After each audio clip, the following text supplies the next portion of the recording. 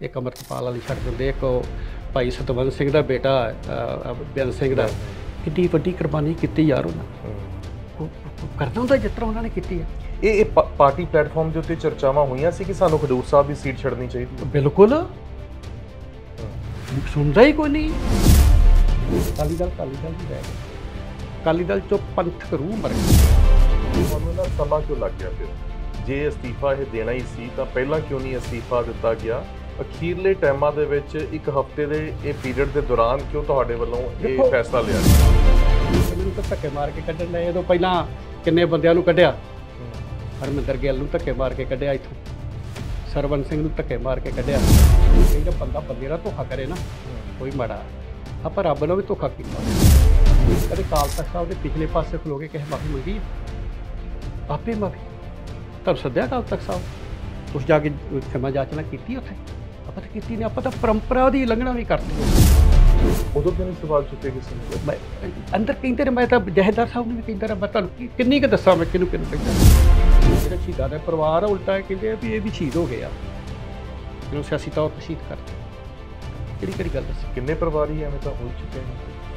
ਪਰਿਵਾਰ ਪੰਥਕ ਪਰਿਵਾਰ ਕੋ ਨਾਲ ਹੈਗਾ ਤਦਾ ਫਿਰ ਕਹਿੰਦੇ ਆਪਾਂ ਦੋਸ਼ੀ ਹੋਏ ਨਾ ਮੈਂ ਦੋਸ਼ੀ ਦੀ ਬਰੀ ਹੋ ਜਾਣਾ ਜੋ ਤੋ ਕਾਲ ਤੱਕ ਸਾਹਿਬ ਨੇ ਭਾਂਡੇ ਦੀ ਸੇਵਾ ਲਾਉਣੀ ਆ ਚਾਹੇ ਜੋੜਿਆਂ ਦੀ ਲਾਊਗਾ ਚਾਹੇ ਲੰਗਰ ਵਰਤਾਉਣ ਦੀ ਲਾਊ ਜਾਂ ਭਾਂਡੇ ਮਾਜੇ ਹੋਈ ਜਾਣਾ ਸੋ ਤੁਹਾਂ ਬਰੀ ਹੋ ਜਾਣਾ। ਇੱਥੋਂ ਫੈਸਲਾ ਹੋ ਕੇ ਗਿਆ ਇਹ ਰਸਤੇ ਜਾਂਦੇ ਫੇਰ ਰੋਕਤਾ ਕਿਉਂਕਿ ਇੱਕ ਉਹਨਾਂ ਦੀ ਕਿਚਨ ਕੈਬਨਿਟ ਵੀ ਹੈਗੀ ਆ ਜਿਨ੍ਹਾਂ ਨੂੰ ਮੇਰੇ ਖਿਆਲ ਜਪਜੀ ਸਾਹਿਬ ਦਾ ਪਾਠ ਜਦੋਂ ਅੰਮ੍ਰਿਤਪਾਲ ਨੇ ਐਲਾਨ ਕਰਤਾ ਸੀ ਲੋਨ ਦਾ ਪਹਿਲਾਂ ਤਾਂ ਉਹਨਾਂ ਦਾ ਐਲਾਨ ਹੀ ਨਹੀਂ ਸੀ ਹੈਗਾ। ਜੀ।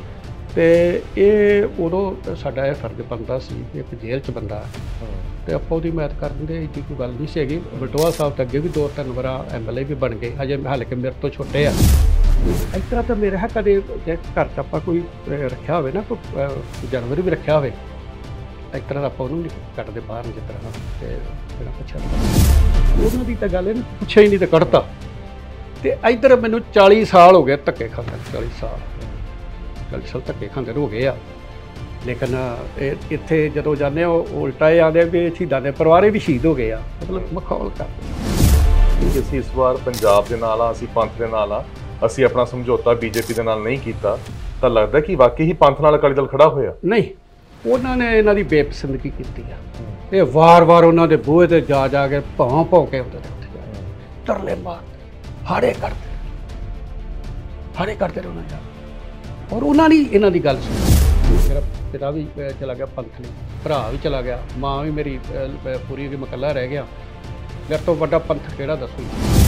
ਮੇਰੇ ਜਿਹੜੀ ਪਰਿਵਾਰ ਦੀ ਕੁਰਬਾਨੀ ਮੇਰਾ ਤੁਸੀਂ ਜੇ ਮੈਂ ਝੋਲੀ ਚੁੱਕ ਬਣ ਜਾਂਦਾ ਤੇ ਮੈਂ ਵੀ ਕੁਝ ਬਣ ਮਤਲਬ ਹਾਸਲ ਕਰਦਾ, ਕਿਉਂਕਿ ਸਾਡਾ ਅਣਖਲਾ ਪਰਿਵਾਰ ਆ। ਮੈਂ ਝੋਲੀ ਚੁੱਕ ਨਹੀਂ ਸਕਦਾ, ਮੈਂ ਕਿਸੇ ਦੀ ਨਹੀਂ ਚੁੱਕ 1 ਜੂਨ ਨੂੰ ਪੰਜਾਬ ਦੇ ਵਿੱਚ ਲੋਕ ਸਭਾ ਚੋਣਾਂ ਨੇ ਔਰ ਇਨ੍ਹਾਂ ਲੋਕ ਸਭਾ ਚੋਣਾਂ ਦੀ ਜੇਕਰ ਗੱਲ ਕਰੀਏ ਤਾਂ ਪੰਜਾਬ ਦੀ ਫਿਜ਼ਾਵਾਂ ਦੇ ਵਿੱਚ ਪੰਥਕ ਲਹਿਰ ਬਣੀ ਹੋਈ ਹੈ। ਔਰ ਖਾਸ ਤੌਰ ਦੇ ਉੱਤੇ ਅਕਾਲੀ ਦਲ ਦਾ ਜੇਕਰ- ਜਦੋਂ ਜ਼ਿਕਰ ਆਉਂਦਾ ਹੈ, ਤਾਂ ਅਕਾਲੀ ਦਲ ਜੋ ਆਪਣੇ ਆਪ ਨੂੰ ਪੰਥਕ ਪਾਰਟੀ ਕਹਾਉਂਦੀ ਹੈ, ਇਸ ਪਾਰਟੀ ਦੇ ਵਿੱਚ ਬਹੁਤ ਹੁਣ ਉਤਾਰ ਚੜਾਅ ਵੇਖਣ ਨੂੰ ਮਿਲ ਰਹੇ ਨੇ। ਹਾਲ ਹੀ ਦੇ ਵਿੱਚ ਪਾਰਟੀ ਨੇ ਆਪਣੇ ਹੀ ਲੀਡਰ ਆਦੇਸ਼ ਪ੍ਰਤਾਪ ਕੈਰੋਣਾ ਨੂੰ ਪਾਰਟੀ ਦੇ ਵਿੱਚੋਂ ਬਾਹਰ ਦਾ ਰਸਤਾ ਦਿਖਾਇਆ ਔਰ ਉੱਥੇ ਹੀ ਗੱਲ ਕਰੀਏ, ਅੱਜ ਸ਼੍ਰੋਮਣੀ ਅਕਾਲੀ ਦਲ ਦੇ ਸੀਨੀਅਰ ਵਾਈਸ ਪ੍ਰੈਜ਼ੀਡੈਂਟ ਔਰ ਐਸਜੀਪੀਸੀ ਦੇ ਐਗਜ਼ੈਕਟਿਵ ਮੈਂਬਰ ਭਾਈ ਮਨਜੀਤ ਸਿੰਘ ਉਹਨਾਂ ਨੇ ਪਾਰਟੀ ਤੋਂ ਅਸਤੀਫਾ ਦੇ ਦਿੱਤਾ ਹੈ। ਕੀ ਕਾਰਨ ਰਹੇ? ਕੀ ਚੋਣਾਂ ਦੇ ਐਨ ਨਜ਼ਦੀਕ ਉਹਨਾਂ ਨੇ ਇਹ ਫੈਸਲਾ ਲਿਆ ਹੈ? ਔਰ ਹੁਣ ਅੱਗੇ ਉਹਨਾਂ ਦੀ ਕੀ ਰਾਜਨੀਤੀ ਰਹੂਗੀ? ਗੱਲਬਾਤ ਕਰਦੇ ਹਾਂ ਸਾਡੇ ਨਾਲ ਭਾਈ ਮਨਜੀਤ ਸਿੰਘ ਹੁਣੀ ਮੌਜੂਦ ਨੇ। ਵਾਹਿਗੁਰੂ ਜੀ ਕਾ ਖਾਲਸਾ ਵਾਹਿਗੁਰੂ ਜੀ ਕੀ ਫਤਿਹ। ਵਾਹਿਗੁਰੂ ਜੀ ਕੀ ਫਤਿਹ ਜੀ। ਸਿੰਘ ਸਾਹਿਬ ਜਿਸ ਤਰੀਕੇ ਦੇ ਨਾਲ ਇਸ ਵੇਲੇ ਮਾਹੌਲ ਬਣਿਆ ਹੋਇਆ ਹੈ ਲੋਕ ਸਭਾ ਚੋਣਾਂ ਨੇ ਪੰਥਕ ਲਹਿਰ ਬਣੀ ਹੋਈ ਹੈ ਕਈ ਸੀਟਾਂ ਦੇ ਉੱਤੇ। ਤੁਹਾਡੇ ਵੱਲੋਂ ਕੁਝ ਦਿਨ ਪਹਿਲਾਂ ਇਹ ਫੈਸਲਾ ਲੈਣਾ ਕਿ ਤੁਸੀਂ ਅਸਤੀਫਾ ਦਿੰਦੇ ਹੋ ਕੀ ਕਾਰਨ ਨੇ ਇਸ ਦੇ ਦੇਖੋ ਇਹਦੇ ਜੇ ਮੈਂ ਲੰਮੇ ਸਾਰੇ ਕਾਰਨ ਦੱਸਣ ਲੱਗਾ। ਤੇ ਮੇਰੇ ਖਿਆਲ ਇੱਕ ਕਿਤਾਬ ਲਿਖੀ ਜਾ ਸਕਦੀ ਹੈ। ਹੂੰ। ਜਿੰਨੇ ਕਿਉਂਕਿ ਸ਼੍ਰੋਮਣੀ ਅਕਾਲੀ ਦਲ ਜਿਹੜਾ ਹੈ ਇਹ 103 ਸਾਲ ਪੁਰਾਣੀ ਪਾਰਟੀ ਹੈ। ਬਿਲਕੁਲ।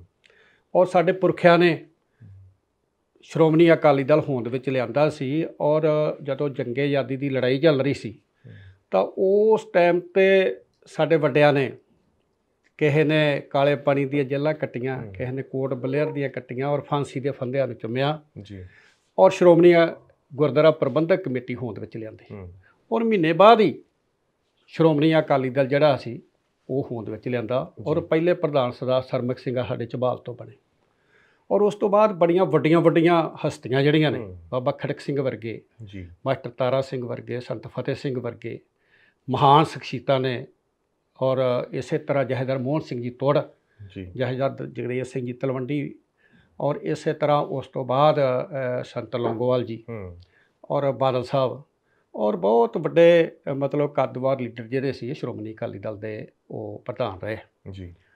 ਲੇਕਿਨ ਅਫਸੋਸ ਨਾਲ ਜੇ ਕਹਿਣਾ ਪੈ ਰਿਹਾ ਹੈ ਕਿ ਜਿਹੜੇ ਅਕਾਲੀ ਦਲ ਦੀ ਨੀਂਹ ਜਿਹੜੀ ਹੈ ਉਹ ਜੇਲ੍ਹ ਤੇ ਰੱਖੀ ਸੀ। ਹੂੰ। ਕੁਰਬਾਨੀ ਤੇ ਰੱਖੀ ਸੀ। ਔਰ ਅਕਾਲੀ ਦਲ ਦੇ ਲੀਡਰਾਂ ਨੂੰ ਕਈ ਕਈ ਸਾਲ ਨੰਗਿਆਂ ਹੀ ਜਿਹੜਾ ਇੱਕ ਇਕੱਲੇ ਕਸ਼ਹਿਰੇ ਨਾਲ ਹੀ ਜੀ। ਸਰਾਖਾਂ ਪਾਸੇ ਬੰਦ ਰਹਿਣਾ ਪਿਆ। ਲੰਮੀਆਂ ਜੇਲ੍ਹਾਂ ਕੱਟਣੀਆਂ ਪਈਆਂ। ਕਈਆਂ ਨੂੰ ਦੇਸ਼ ਨਿਕਾਲੇ ਮਿਲ ਗਏ। ਔਰ ਦੇਸ਼ ਤੋਂ ਬਾਹਰ ਕੱਢਤਾ। ਲੇਕਿਨ ਉਹਨਾਂ ਨੇ ਆਪਣਾ ਸਿੱਖੀ ਸਦਕ ਨਹੀਂ ਹਾਰਿਆ ਹੂੰ। ਸੋ ਸਾਡਾ ਪਰਿਵਾਰ ਹੀ ਉਹਨਾਂ ਪਰਿਵਾਰਾਂ ਵਿੱਚੋਂ ਇੱਕ ਸੀ। ਮੇਰੇ ਸਤਿਕਾਰਯੋਗ ਦਾਦਾ ਜਹੇਦਾਰ ਝੰਡਾ ਸਿੰਘ ਜੀ। ਜਿਨ੍ਹਾਂ ਨੇ ਗੁਰੂ ਕੇ ਬਾਗ ਦੇ ਮੋਰਚੇ ਦੇ ਵਿੱਚ ਪਹਿਲਾਂ ਬੀਟੀ ਦੀਆਂ ਡਾਂਗਾਂ ਖਾਧੀਆਂ। ਜੀ। ਫਿਰ ਗੁਰੂ ਕੇ ਬਾਗ ਦੇ ਮੋਰਚੇ ਆਪਣੇ ਜੈਤੋ ਦੇ ਮੋਰਚੇ ਵਿੱਚ ਬਹੁਤ ਵੱਡਾ ਜਥਾ ਲੈ ਕੇ ਗਏ। ਉਸ ਤੋਂ ਬਾਅਦ ਐਮਰਜੈਂਸੀ ਲੱਗੀ ਤਾਂ ਮੇਰੇ ਸਤਿਕਾਰਯੋਗ ਪਿਤਾ ਸੰਤ ਬਾਬਾ ਕਰਤਾਰ ਸਿੰਘ ਖਾਲਸਾ ਪਿੰਡਰਾ ਵਾਲੇ ਉਸ ਟਾਈਮ ਤੇ ਅ, ਦਮਦਮੀ ਟਕਸਾਲ ਦੇ 13ਵੇਂ ਮੁਖੀ ਵਜੋਂ ਸੇਵਾ ਕਰ ਰਹੇ ਸੀ। ਤਾਂ ਸ਼੍ਰੋਮਣੀ ਅਕਾਲੀ ਦਲ ਦੀ ਸਾਰੀ ਲੀਡਰਸ਼ਿਪ ਜਿਹੜੀ ਹੈ ਚੁੱਕ ਕੇ ਜੇਲ੍ਹ 'ਚ ਸਿੱਟਤੀ ਤਾਂ ਇਹਨਾਂ ਨੇ ਸੰਤ ਜੀ ਨੂੰ ਬੇਨਤੀ ਕੀਤੀ ਜੇਲ੍ਹਾਂ 'ਚੋਂ ਵੀ ਤੁਸੀਂ ਸਾਡੇ ਜਾਣ ਕੇ ਮੁਲਾਕਾਤ ਕਰੋ ਔਰ ਮੁਲਾਕਾਤਾਂ ਕੀਤੀਆਂ। ਉਹਨਾਂ ਨੇ ਕਿਹਾ ਕਿ ਮੋਰਚਾ ਜਿਹੜਾ ਫੇਲ ਹੋ ਚੱਲਿਆ ਹੈ। ਔਰ ਪੰਜ ਸਿੰਘ ਜਿਹੜੇ ਆ ਉਹ ਇਸ ਵੇਲੇ ਇੰਨਾ ਡਰ ਹੈ ਇੰਦਰਾ ਗਾਂਧੀ ਨੇ ਜਿਹੜਾ ਐਮਰਜੈਂਸੀ ਲਾਈ ਜੀ। ਮੋਰਚੇ ਜਾਣ ਲਈ ਤਿਆਰ ਨਹੀਂ। ਤੇ ਸੰਗਤ ਨੂੰ ਮੋਬਿਲਾਈਜ਼ ਕਰੋ ਤੇ ਸੰਤਾਂ ਨੇ ਮੋਢਿਆਂ ਤੇ ਆ ਗਏ ਸੰਤ ਕਹਿਣ ਲੱਗੇ ਫਿਰ ਪਾਰ ਲੰਘ ਜੂਗੀ ਸੋ ਸੰਤਾਂ ਨੇ ਉਸ ਟਾਈਮ ਤੇ ਮੀਡੀਆ ਵੀ ਕੋਈ ਨਹੀਂ ਸੀ ਜੀ ਕੋਈ ਆਪਣੇ ਪਿੰਡਾਂ ਸਾਈਕਲ ਨਹੀਂ ਸੀ ਮੋਟਰਸਾਈਕਲ ਨਹੀਂ ਸੀ ਆਪਣੇ ਟਰੈਕਟਰ ਨਹੀਂ ਸੀ। ਗੱਡੀਆਂ ਨਹੀਂ ਸੀ। ਕਿਤੇ ਵੇਖਣ ਨੂੰ ਸੋ ਉਹਨਾਂ ਨੇ ਮਿਹਨਤ ਕਰਕੇ ਇੱਕ ਇੱਕ ਦਿਨ ਦੇ ਵਿੱਚ ਦਹੀਂ ਦਹੀਂ 15 15 ਥਾਈ ਬੋਲ ਕੇ ਤੇ 100 100 ਕਿਲੋਮੀਟਰ ਲੰਮੇ ਪੰਜਾਬ 'ਚ 36 ਜਲੂਸ ਕੱਢੇ। ਐਮਰਜੈਂਸੀ ਦੇ ਖਿਲਾਫ। ਨਾਲ ਇੱਕ ਨਾਰਾ ਦਿੱਤਾ ਮੇਰਾ ਸਿਰ ਜਾਵੇ ਤਾਂ ਜਾਵੇ ਮੇਰਾ ਸਿੱਖੀ ਸਿਦਕ ਨਾ ਜਾਵੇ ਔਰ ਐਮਰਜੈਂਸੀ ਦੇ ਖਿਲਾਫ ਇੰਨਾ ਬੋਲੇ ਇੰਨਾ ਬੋਲੇ ਇੱਥੇ ਬੀੜਬਾ ਬੁੱਢਾ ਸਾਹਿਬ ਦਾ ਮੇਲਾ ਸੀ ਮੈਂ ਵੀ ਉਦੋਂ ਨਵੀਂ ਚ ਪੜ੍ਹਦਾ ਸੀ। ਤੇ ਮੈਨੂੰ ਕਹਿਣ ਲੱਗੇ ਤੁਹਾਡੇ ਪਿਤਾ ਨੂੰ ਅੱਜ ਫੜ ਲੈਣਾ ਉਹਨਾਂ ਨੇ। ਮੈਂ ਕਿਹਾ ਵੀ ਸਾਨੂੰ ਤਾਂ ਪਤਾ ਨਹੀਂ ਮੈਂ ਕਿਹਾ ਕੀ ਗੱਲ ਕਹਿੰਦੇ ਅੱਜ ਜਿੰਦੇ ਬੀੜ ਸਾਹਿਬ ਦੇ ਮੇਲੇ ਤੇ ਸੰਤ ਕਰਤਾਰ ਸਿੰਘ ਨੇ ਜੋ ਬੋਲਿਆ ਹੈ ਇੰਦਰਾ ਗਾਂਧੀ ਦੇ ਖਿਲਾਫ। ਅੱਜ ਸ਼ਾਮ ਨੂੰ ਸ਼ਾਇਦ ਫੜ ਲੈਣਗੇ ਔਰ ਉਹਨਾਂ ਨੇ ਇਹ ਵੀ ਸਟੇਜ ਦੇ ਉੱਤੇ ਕਹਿਤਾ ਵੀ ਮੇਰੇ ਤੋਂ ਬਾਅਦ ਬਾਬਾ ਠਾਕਰ ਸਿੰਘ ਜਿਹੜੀ ਹੈ ਜ਼ਿੰਮੇਵਾਰੀ ਸੰਭਾਲਣਗੇ ਮੈਨੂੰ ਲੱਗਦਾ ਵੀ ਫੜ ਲੈਣਗੇ। ਸੋ ਉਹਨਾਂ ਨੇ ਨ ਧੜਕ ਹੋ ਕੇ ਨੰਗੇ ਧੜ ਹੂੰ। ਪੰਥ ਦੀ ਗੱਜ ਵੱਜ ਕੇ ਏਡੀ ਵੱਡੀ ਇੱਕ ਮੂਵਮੈਂਟ ਉਹਨਾਂ ਮਗਰ ਖੜੀ ਕਰਤੀ। ਔਰ ਇੱਥੇ ਗੁਰਦਾਸਪੁਰ ਦਾ ਡੀਸੀ ਕਹਿਣ ਲੱਗਾ ਜਦੋਂ ਗੁਰਦਾਸਪੁਰ ਦਾ ਨਿਕਲਣਾ ਹੈ ਨਾ ਨਗਰ ਕੀਰਤਨ ਜੀ। ਉਹ ਨਿਰੰਕਾਰੀ ਸੀ ਉਸ ਟਾਈਮ ਦੇ ਉੱਤੇ ਜਿਹੜਾ ਨਰਿੰਜਨ ਸਿੰਘ ਸੀ ਆਈਐਸ ਅਫਸਰ ਸੀ। ਉਹਨੇ ਸੰਤਾਂ ਕੋਲੇ ਬੰਦਾ ਭੇਜਿਆ ਕਹਿਣ ਲੱਗੇ ਵੀ ਇੱਧਰ ਦੀ ਨਗਰ ਕੀਰਤਨ ਨਹੀਂ ਜਾਊਗਾ। ਸੰਤ ਕਹਿੰਦੇ ਵੀ ਜਲ ਪਾਣੀ ਛਕਲਾ ਸਿੰਘਾ। ਪ੍ਰਸ਼ਾਦਾ ਛਕਲਾ। ਕਹਿੰਦੇ ਉਹਦਾ ਸਿਨੇਹਾ ਮਿਲ ਗਿਆ। ਉਹਨੂੰ ਕਈ ਤੇਰੀ ਕੋਠੀ ਅੱਗੇ ਲੰਘਾਉਣਾ ਹੀ ਅਗਲੇ ਹੂੰ। ਜੇ ਤੇਰੇ 'ਚ ਜ਼ਰੂਰਤ ਹੈਗੀ ਆ ਨਾ ਤੇ ਨਗਰ ਕੀਰਤਨ ਨੂੰ ਰੋਕ ਕੇ ਵਿਖਾਵੀਂ। ਔਰ ਜੇ ਤੇਰੇ ਚੰਗੇ ਭਾਅ ਹੋਵੇ ਤੇ ਜੋੜਾ ਲਾ ਕੇ ਨਾ ਤੇ ਸਾਈਡ ਤੇ ਖਲੋ ਕੇ ਗੁਰੂ ਗ੍ਰੰਥ ਸਾਹਿਬ ਦਾ ਸਤਿਕਾਰ ਕਰੀ। ਔਰ ਉਹਦੇ ਜਿਹੜਾ ਰੂਟ ਸੀ ਉਹਦੀ ਕੋਠੀ ਦੇ ਅਗਲੇ ਦਾ ਦੀ ਕਰਕੇ ਤੇ ਸੰਤ ਕਰਤਾਰ ਸਿੰਘ ਨੇ ਉਹਦੇ ਕੋਠੀ ਦੇ ਅੱਗੇ ਜਾ ਕੇ ਜਿੱਥੇ ਖਾਲਸਾ ਪੰਥ ਦੇ ਨਾਰੇ ਮਾਰੇ ਉੱਥੇ ਨਾਲ ਕਿਹਾ ਡੀਸੀ ਦੀ ਕੀਸੀ ਹੋਈ ਪਈ ਹੂੰ। ਔਰ ਐਮਰਜੈਂਸੀ ਦੇ ਖਿਲਾਫ ਇੰਨਾ ਬੋਲੇ ਕਹਿੰਦਾ ਮੈਂ ਜੇਲ੍ਹ ਖਾਨਾ ਨਹੀਂ ਬਣ ਦੇਣਾ ਹਿੰਦੁਸਤਾਨ ਨੂੰ ਮੈਂ ਲੋਕਾਂ ਦੀ ਆਵਾਜ਼ ਨਹੀਂ ਬੰਦ ਹੋਣ ਦੇਣੀ ਮੈਂ ਪ੍ਰੈਸ ਦੀ ਆਜ਼ਾਦੀ ਜਿਹੜੀ ਆ ਉਹਨੂੰ ਖਤਮ ਨਹੀਂ ਹੋਣ ਦੇਣਾ ਕਿਉਂਕਿ ਹੋ ਗਈ ਸੀ ਉਦੋਂ। ਕੋਈ ਆਵਾਜ਼ ਨਹੀਂ ਸੀ ਕੱਢ ਸਕਦਾ। ਸੋ ਸੈਂਤੀਆਂ ਉਹ ਦਿੱਲੀ ਲੈ ਕੇ ਗਏ ਸੀ। ਜਿੱਥੇ ਇੰਦਰਾ ਗਾਂਧੀ ਜਦੋਂ ਆਈ ਤੇ ਸਾਰੇ ਉੱਠ ਕੇ ਖਲੋ ਗਏ ਸਟੇਜ ਤੇ। ਰਾਮਲੀਲਾ ਗਰਾਊਂਡ 'ਚ ਉਸ ਟਾਈਮ ਦੇ ਉੱਤੇ ਮੇਰੇ ਖਿਆਲ ਦੱਸਣ ਵਾਲਿਆਂ ਤੋਂ ਜ਼ਿਆਦਾ ਦੱਸਿਆ 10 ਲੱਖ ਤੋਂ ਉੱਪਰ ਘੱਟ ਸੀ। ਗੁਰੂ ਤੇਗ ਬਹਾਦਰ ਸਾਹਿਬ ਜੀ ਦੇ 300 ਸਾਲਾ ਸ਼ਹੀਦੀ ਸ਼ਤਾਬਦੀ ਚੱਲ ਰਹੀ ਸੀ। ਹੂੰ। ਉਸ ਸੰਬੰਧ 'ਚ 37 ਜਲੂਸ ਕੱਢੇ ਸੀ। ਹੂੰ। ਸੋ ਜਦੋਂ ਸਟੇਜ ਤੇ ਆਈ ਤੇ ਸਾਰੇ ਉੱਠਣ ਲੱਗੇ। ਸਾਰੇ ਉੱਠ ਬੈਠੇ। ਹੂੰ। ਤੇ ਸੰਤ ਜੀ ਕੋਲ ਤੀਰ ਸੀ ਇੱਕ ਤਾਂ ਇਹਨਾਂ ਤੀਰਤਾ ਨੂੰ ਕੀਤਾ ਤੇ ਬੈਠੇ ਰਹੇ। ਇਹ ਕਿਹੜਾ ਗ੍ਰੰਥੀ ਸੀ ਨਾ ਹਜ਼ੂਰੀ 'ਚ ਬੈਠਾ? ਉਹ ਉੱਠ ਲਗਾ ਸੰਤਾਂ ਨੇ ਜੱਫਾ ਮਾਰ ਲਿਆ ਕਹਿੰਦਾ ਤੂੰ ਇੱਕ ਜਨਾਨੀ ਆ ਗਈ ਆ। ਹੂੰ। ਫਿਰ ਕੀ ਹੋ ਗਿਆ? ਹੂੰ। ਤੂੰ ਕਹਿੰਦਾ ਗੁਰੂ ਦਾ ਵਜ਼ੀਰ ਆ, ਤੂੰ ਵੀ ਉੱਠਣ ਲੱਗਾ। ਬਹਿ ਜਾ। ਚਲੋ ਬੈਠੇ ਰਹੇ। ਸੰਤਾਂ ਨੇ ਟਾਈਮ ਕੱਟ ਕੇ ਪਿੱਛੇ ਕਰਤਾ ਗਿਆਨੀ ਜੈਲ ਸਿੰਘ ਬੋਲਿਆ ਉਹ ਕਹਿਣ ਲੱਗਾ ਵੀ ਅੱਜ ਤੋਂ 300 ਸਾਲ ਪਹਿਲਾਂ ਦਿੱਲੀ ਦਾ ਤਖਤ ਜਿਹੜਾ ਹੈ ਉਹ ਗੁਰੂ ਤੇਗ ਬਹਾਦਰ ਸਾਹਿਬ ਨੂੰ ਸ਼ਹੀਦ ਕਰਦਾ ਹੈ। ਅੱਜ ਉਹੀ ਤਖਤ ਚੱਲ ਕੇ ਗੁਰੂ ਤੇਗ ਬਹਾਦਰ ਸਾਹਿਬ ਦੇ ਇੱਥੇ ਚਰਨਾਂ 'ਚ ਆਇਆ। ਦੂਸਰਾ ਉਹਨੇ ਕਿਹਾ ਗੱਲ ਕਹੀ ਕਿ ਬੀਬੀ ਨੇ ਸਾਡੇ ਨਾਲ ਰਿਸ਼ਤੇਦਾਰੀ ਬੜੀ। ਵਧਾਈ ਆ ਜਿਹੜਾ ਪੰਜਾਬ 'ਚ ਮੁੰਡਾ ਮੰਗਿਆ। ਇੱਕ ਗਰੀਬੀ ਦੀ ਗੱਲ ਕੀਤੀ। ਤੇ ਮਗਰ ਉਹ ਇੰਦਰਾ ਗਾਂਧੀ ਬੋਲ ਕੇ ਚਲੀ ਚਲੀ ਸੰਤਾਂ ਨੇ ਆਖਿਆ ਬੀਬੀ ਜੀ ਬਹਿ ਜਾਓ ਮੇਰੀ ਗੱਲ ਵੀ ਸੁਣ ਕੇ ਜਾਇਆ ਜੇ। ਸੰਤ ਬੋਲਣ ਲੱਗ ਪਏ। ਸੰਤਾਂ ਨੇ ਕਿਹਾ ਕਿ ਇੱਥੇ ਆਪਣੇ ਅਹ, ਅਹ, ਗਿਆਨੀ ਜੈਲ ਸਿੰਘ ਦਾ ਨਾਮ ਲੈ ਕੇ ਕਿਹਾ ਕਿ ਉਹਨਾਂ ਨੇ ਇੱਥੇ ਦੋ ਤਿੰਨ ਗੱਲਾਂ ਕੀਤੀਆਂ ਨੇ ਕਿ ਜਿਹੜਾ ਅੱਜ ਤੋਂ 300 ਸਾਲ ਪਹਿਲਾਂ ਦਿੱਲੀ ਦਾ ਤਖਤ ਗੁਰੂ ਸਾਹਿਬ ਨੂੰ ਸ਼ਹੀਦ ਕਰਦਾ ਸੀ ਨਾ ਅੱਜ ਉਹ ਦਿੱਲੀ ਦਾ ਤਖਤ ਚੱਲ ਕੇ ਆਇਆ। ਕਹਿੰਦੇ ਇਹਨੂੰ ਇਤਿਹਾਸ ਦਾ ਨਹੀਂਗਾ ਪਤਾ ਗਿਆਨੀ ਨੂੰ ਨਾ ਤਾਂ ਗਿਆਨੀ ਪਰ ਇਹ ਦਾੜੀ ਵੀ ਕਾਲੀ ਕਰਦਾ ਤੇ ਇਹਨੂੰ ਇਤਿਹਾਸ ਦਾ ਨਹੀਂ ਪਤਾ। ਕਹਿੰਦੇ ਜਿਹੜੇ ਜੰਮੂ ਕਸ਼ਮੀਰ ਚੋਂ ਪੰਡਤ ਆਏ ਸੀ ਨਾ ਉਹਨਾਂ ਪੀੜ੍ਹੀ ਦਰ ਪੀੜ੍ਹੀ ਇਤਿਹਾਸ ਸੰਤ ਕਰਤਾਰ ਸਿੰਘ ਬੜਾ ਆਉਂਦਾ ਸੀ। ਉਹ ਕਹਿੰਦੇ ਇਹਨਾਂ ਦੇ ਉਹ ਦਾਦਾ ਪੜਦਾਦੇ ਨਾਲ ਜੋੜ ਕੇ ਕਹਿੰਦੇ ਜਿਹੜਾ ਪੰਡਤ ਆਇਆ ਸੀ ਨਾ ਉਸ ਟਾਈਮ ਤੇ ਉਹਦੇ ਅਗਵਾਈ ਚ ਕਿਰਪਾ ਰਾਮਦੀ ਚ ਕਹਿੰਦੇ ਇਹਦਾ ਇਹਦਾ ਦਾ ਰਿਸ਼ਤੇਦਾਰ ਸੀ ਇਸ ਪੰਡਤ ਪਰਿਵਾਰ ਚ। ਤੇ ਜੇ ਗੁਰੂ ਤੇਗ ਬਹਾਦਰ ਸਾਹਿਬ ਉੱਥੇ ਸ਼ਹੀਦੀ ਨਾ ਨਾ ਦਿੰਦੇ ਜਾ ਕੇ ਦਿੱਲੀ ਤਿਲਕ ਜੰਜੂ ਰਾਖਾ ਪ੍ਰਭ ਤਾਕਾ। ਹੂੰ। ਕਿਨੋ ਬੜੋ ਕਲੂਮੈ ਸਾਕਾ।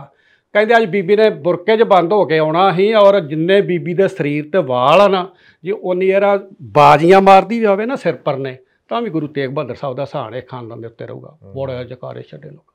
ਬੋੜੇ ਜਕਾਰ ਸਾਰਾ ਜਿਹੜਾ ਆਪਣਾ ਪਡਾਲ ਸੀ ਨਾ ਉਹ ਗੂੰਜ ਉੱਠਿਆ। ਦੂਸਰਾ ਉਹਨਾਂ ਨੇ ਕਿਹਾ ਕਿ ਇਹ ਕਹਿੰਦੇ ਸਾਡੇ ਨਾਲ ਰਿਸ਼ਤਾ ਬੀਬੀ ਨੇ ਬੜਾ ਵਧਾਇਆ ਹੂੰ। ਕਹਿੰਦੀ ਜੀ ਇਤਿਹਾਸ ਪੜਿਆ ਕਰੋ। ਅਕਬਰ ਦੇ ਵੇਲੇ ਧੀਆਂ ਦੇ ਦੇ ਕੇ ਰਾਜਪੂਤ ਰਾਜ ਕਰਦੇ ਸੀ। ਸਿੱਖ ਰਾਜ ਕਰਦਾ ਤੇ ਖੰਡੇ ਨਾਲ ਰਾਜ ਕਰਦਾ ਸਿੱਖ ਧੀ ਦੇ ਕੇ ਨਹੀਂ ਰਾਜ ਕਰਦਾ। ਜੇ ਕੋਈ ਬੀਬੀ ਦੀ ਬੀਬੀ ਹੈਗੀ ਆ ਤੇ ਉਹ ਪੰਜਾਬ 'ਚ ਰਿਸ਼ਤਾ ਕਰੇ ਸਾਡੇ ਤੋਂ ਵੱਧ ਰਿਸ਼ਤਾ ਵਧੂਗਾ। ਬੜੇ ਛੱਡੇ ਹੂੰ। ਫਿਰ ਐਮਰਜੈਂਸੀ ਦੇ ਖਿਲਾਫ। ਫਿਰ ਗਰੀਬੀ ਦੇ ਖਿਲਾਫ ਸੰਤਾਂ ਨੇ ਆਖਿਆ ਵੀ ਗਿਆਨੀ ਜੀ ਤੁਹਾਡੀ ਤਾਂ ਗਰੀਬੀ ਤਾਂ ਖਤਮ ਹੋ ਸਕਦੀ ਤੁਸੀਂ ਤਾਂ ਮਰ ਕੇ ਬੀਬੀ ਦੇ ਘਰ ਜੰਪੋ। ਜਿਹੜੀ ਜਨਤਾ ਦੀ ਗਰੀਬੀ ਹੈ ਮੈਂ 8 ਦਿਨ ਦਾ ਟਾਈਮ ਮੰਗਦਾ 8 ਦਿਨ ਦਾ। ਜਿੰਨੇ ਨਸ਼ੇ ਹਿੰਦੁਸਤਾਨ ਦੇ ਵਿੱਚ ਤੰਬਾਕੂ ਆ ਸਿਗਰਟ ਆ ਬੀੜੀ ਆ ਸ਼ਰਾਬ ਆ ਜਾਂ ਹੋਰ ਆ ਇਹ 8 ਦਿਨ ਦਾ ਨਸ਼ਾ ਬੰਦ ਕਰਕੇ ਗਰੀਬਾਂ 'ਚ ਵੰਡ ਦਿਓ ਹਿੰਦੁਸਤਾਨ 'ਚੋਂ ਗਰੀਬੀ ਜਿਹੜੀ ਉਹ ਖੰਭ ਲਾ ਕੇ ਉੱਠ ਹੂੰ। ਉਹ ਬੀਬੀ ਕਹਿਣ ਲੱਗੀ ਕੌਣ ਆ? ਉਹਨੇ ਕਿਹਾ ਇਹੋ ਹੀ ਭੰਡਰਾ ਵਾਲਾ ਏ। ਕਹਿੰਦੇ ਇਹਨੂੰ ਕੋਈ ਕਹਿੰਦਾ ਨਾ ਜਿਹੜਾ ਕੱਚਾ ਕੋਠਾ ਕੋਈ ਬੰਦੇ ਨੂੰ ਲਾਲਚ ਨਹੀਂ ਔਰ ਸੱਚ ਦੀ ਗੱਲ ਕਰਦਾ। ਔਰ ਗੁਰਬਾਣੀ ਵੀ ਇਹ ਗੱਲ ਕਹਿੰਦੀ ਹੈ ਕਿ ਬੋਲੀਏ ਸੱਚ ਧਰਮ ਝੂਠ ਨਾ ਬੋਲੀਏ। ਜੋ ਗੁਰ ਦੱਸੇ ਬਾਟ ਮਰੀਦਾ ਜੋਲੀਏ ਉਹ ਸਮੇਂ ਦਾ ਸੰਤ ਨਹੀਂ ਉਹ ਸਮੇਂ ਦਾ ਗੁਰੂ ਨਹੀਂ ਜੀ। ਉਹ ਸਮੇਂ ਦਾ ਪੀਰ ਪਕੰਬਰ ਨਹੀਂ ਉਹ ਭਗਤ ਨਹੀਂ ਜਿਹੜਾ ਉਸ ਟਾਈਮ ਦੀ ਜਨਤਾ ਦੇ ਬਣੀ ਹੋਏ ਤੇ ਹਾਂ ਦਾ ਨਾਰਾ ਨਹੀਂ ਮਾਰਦਾ।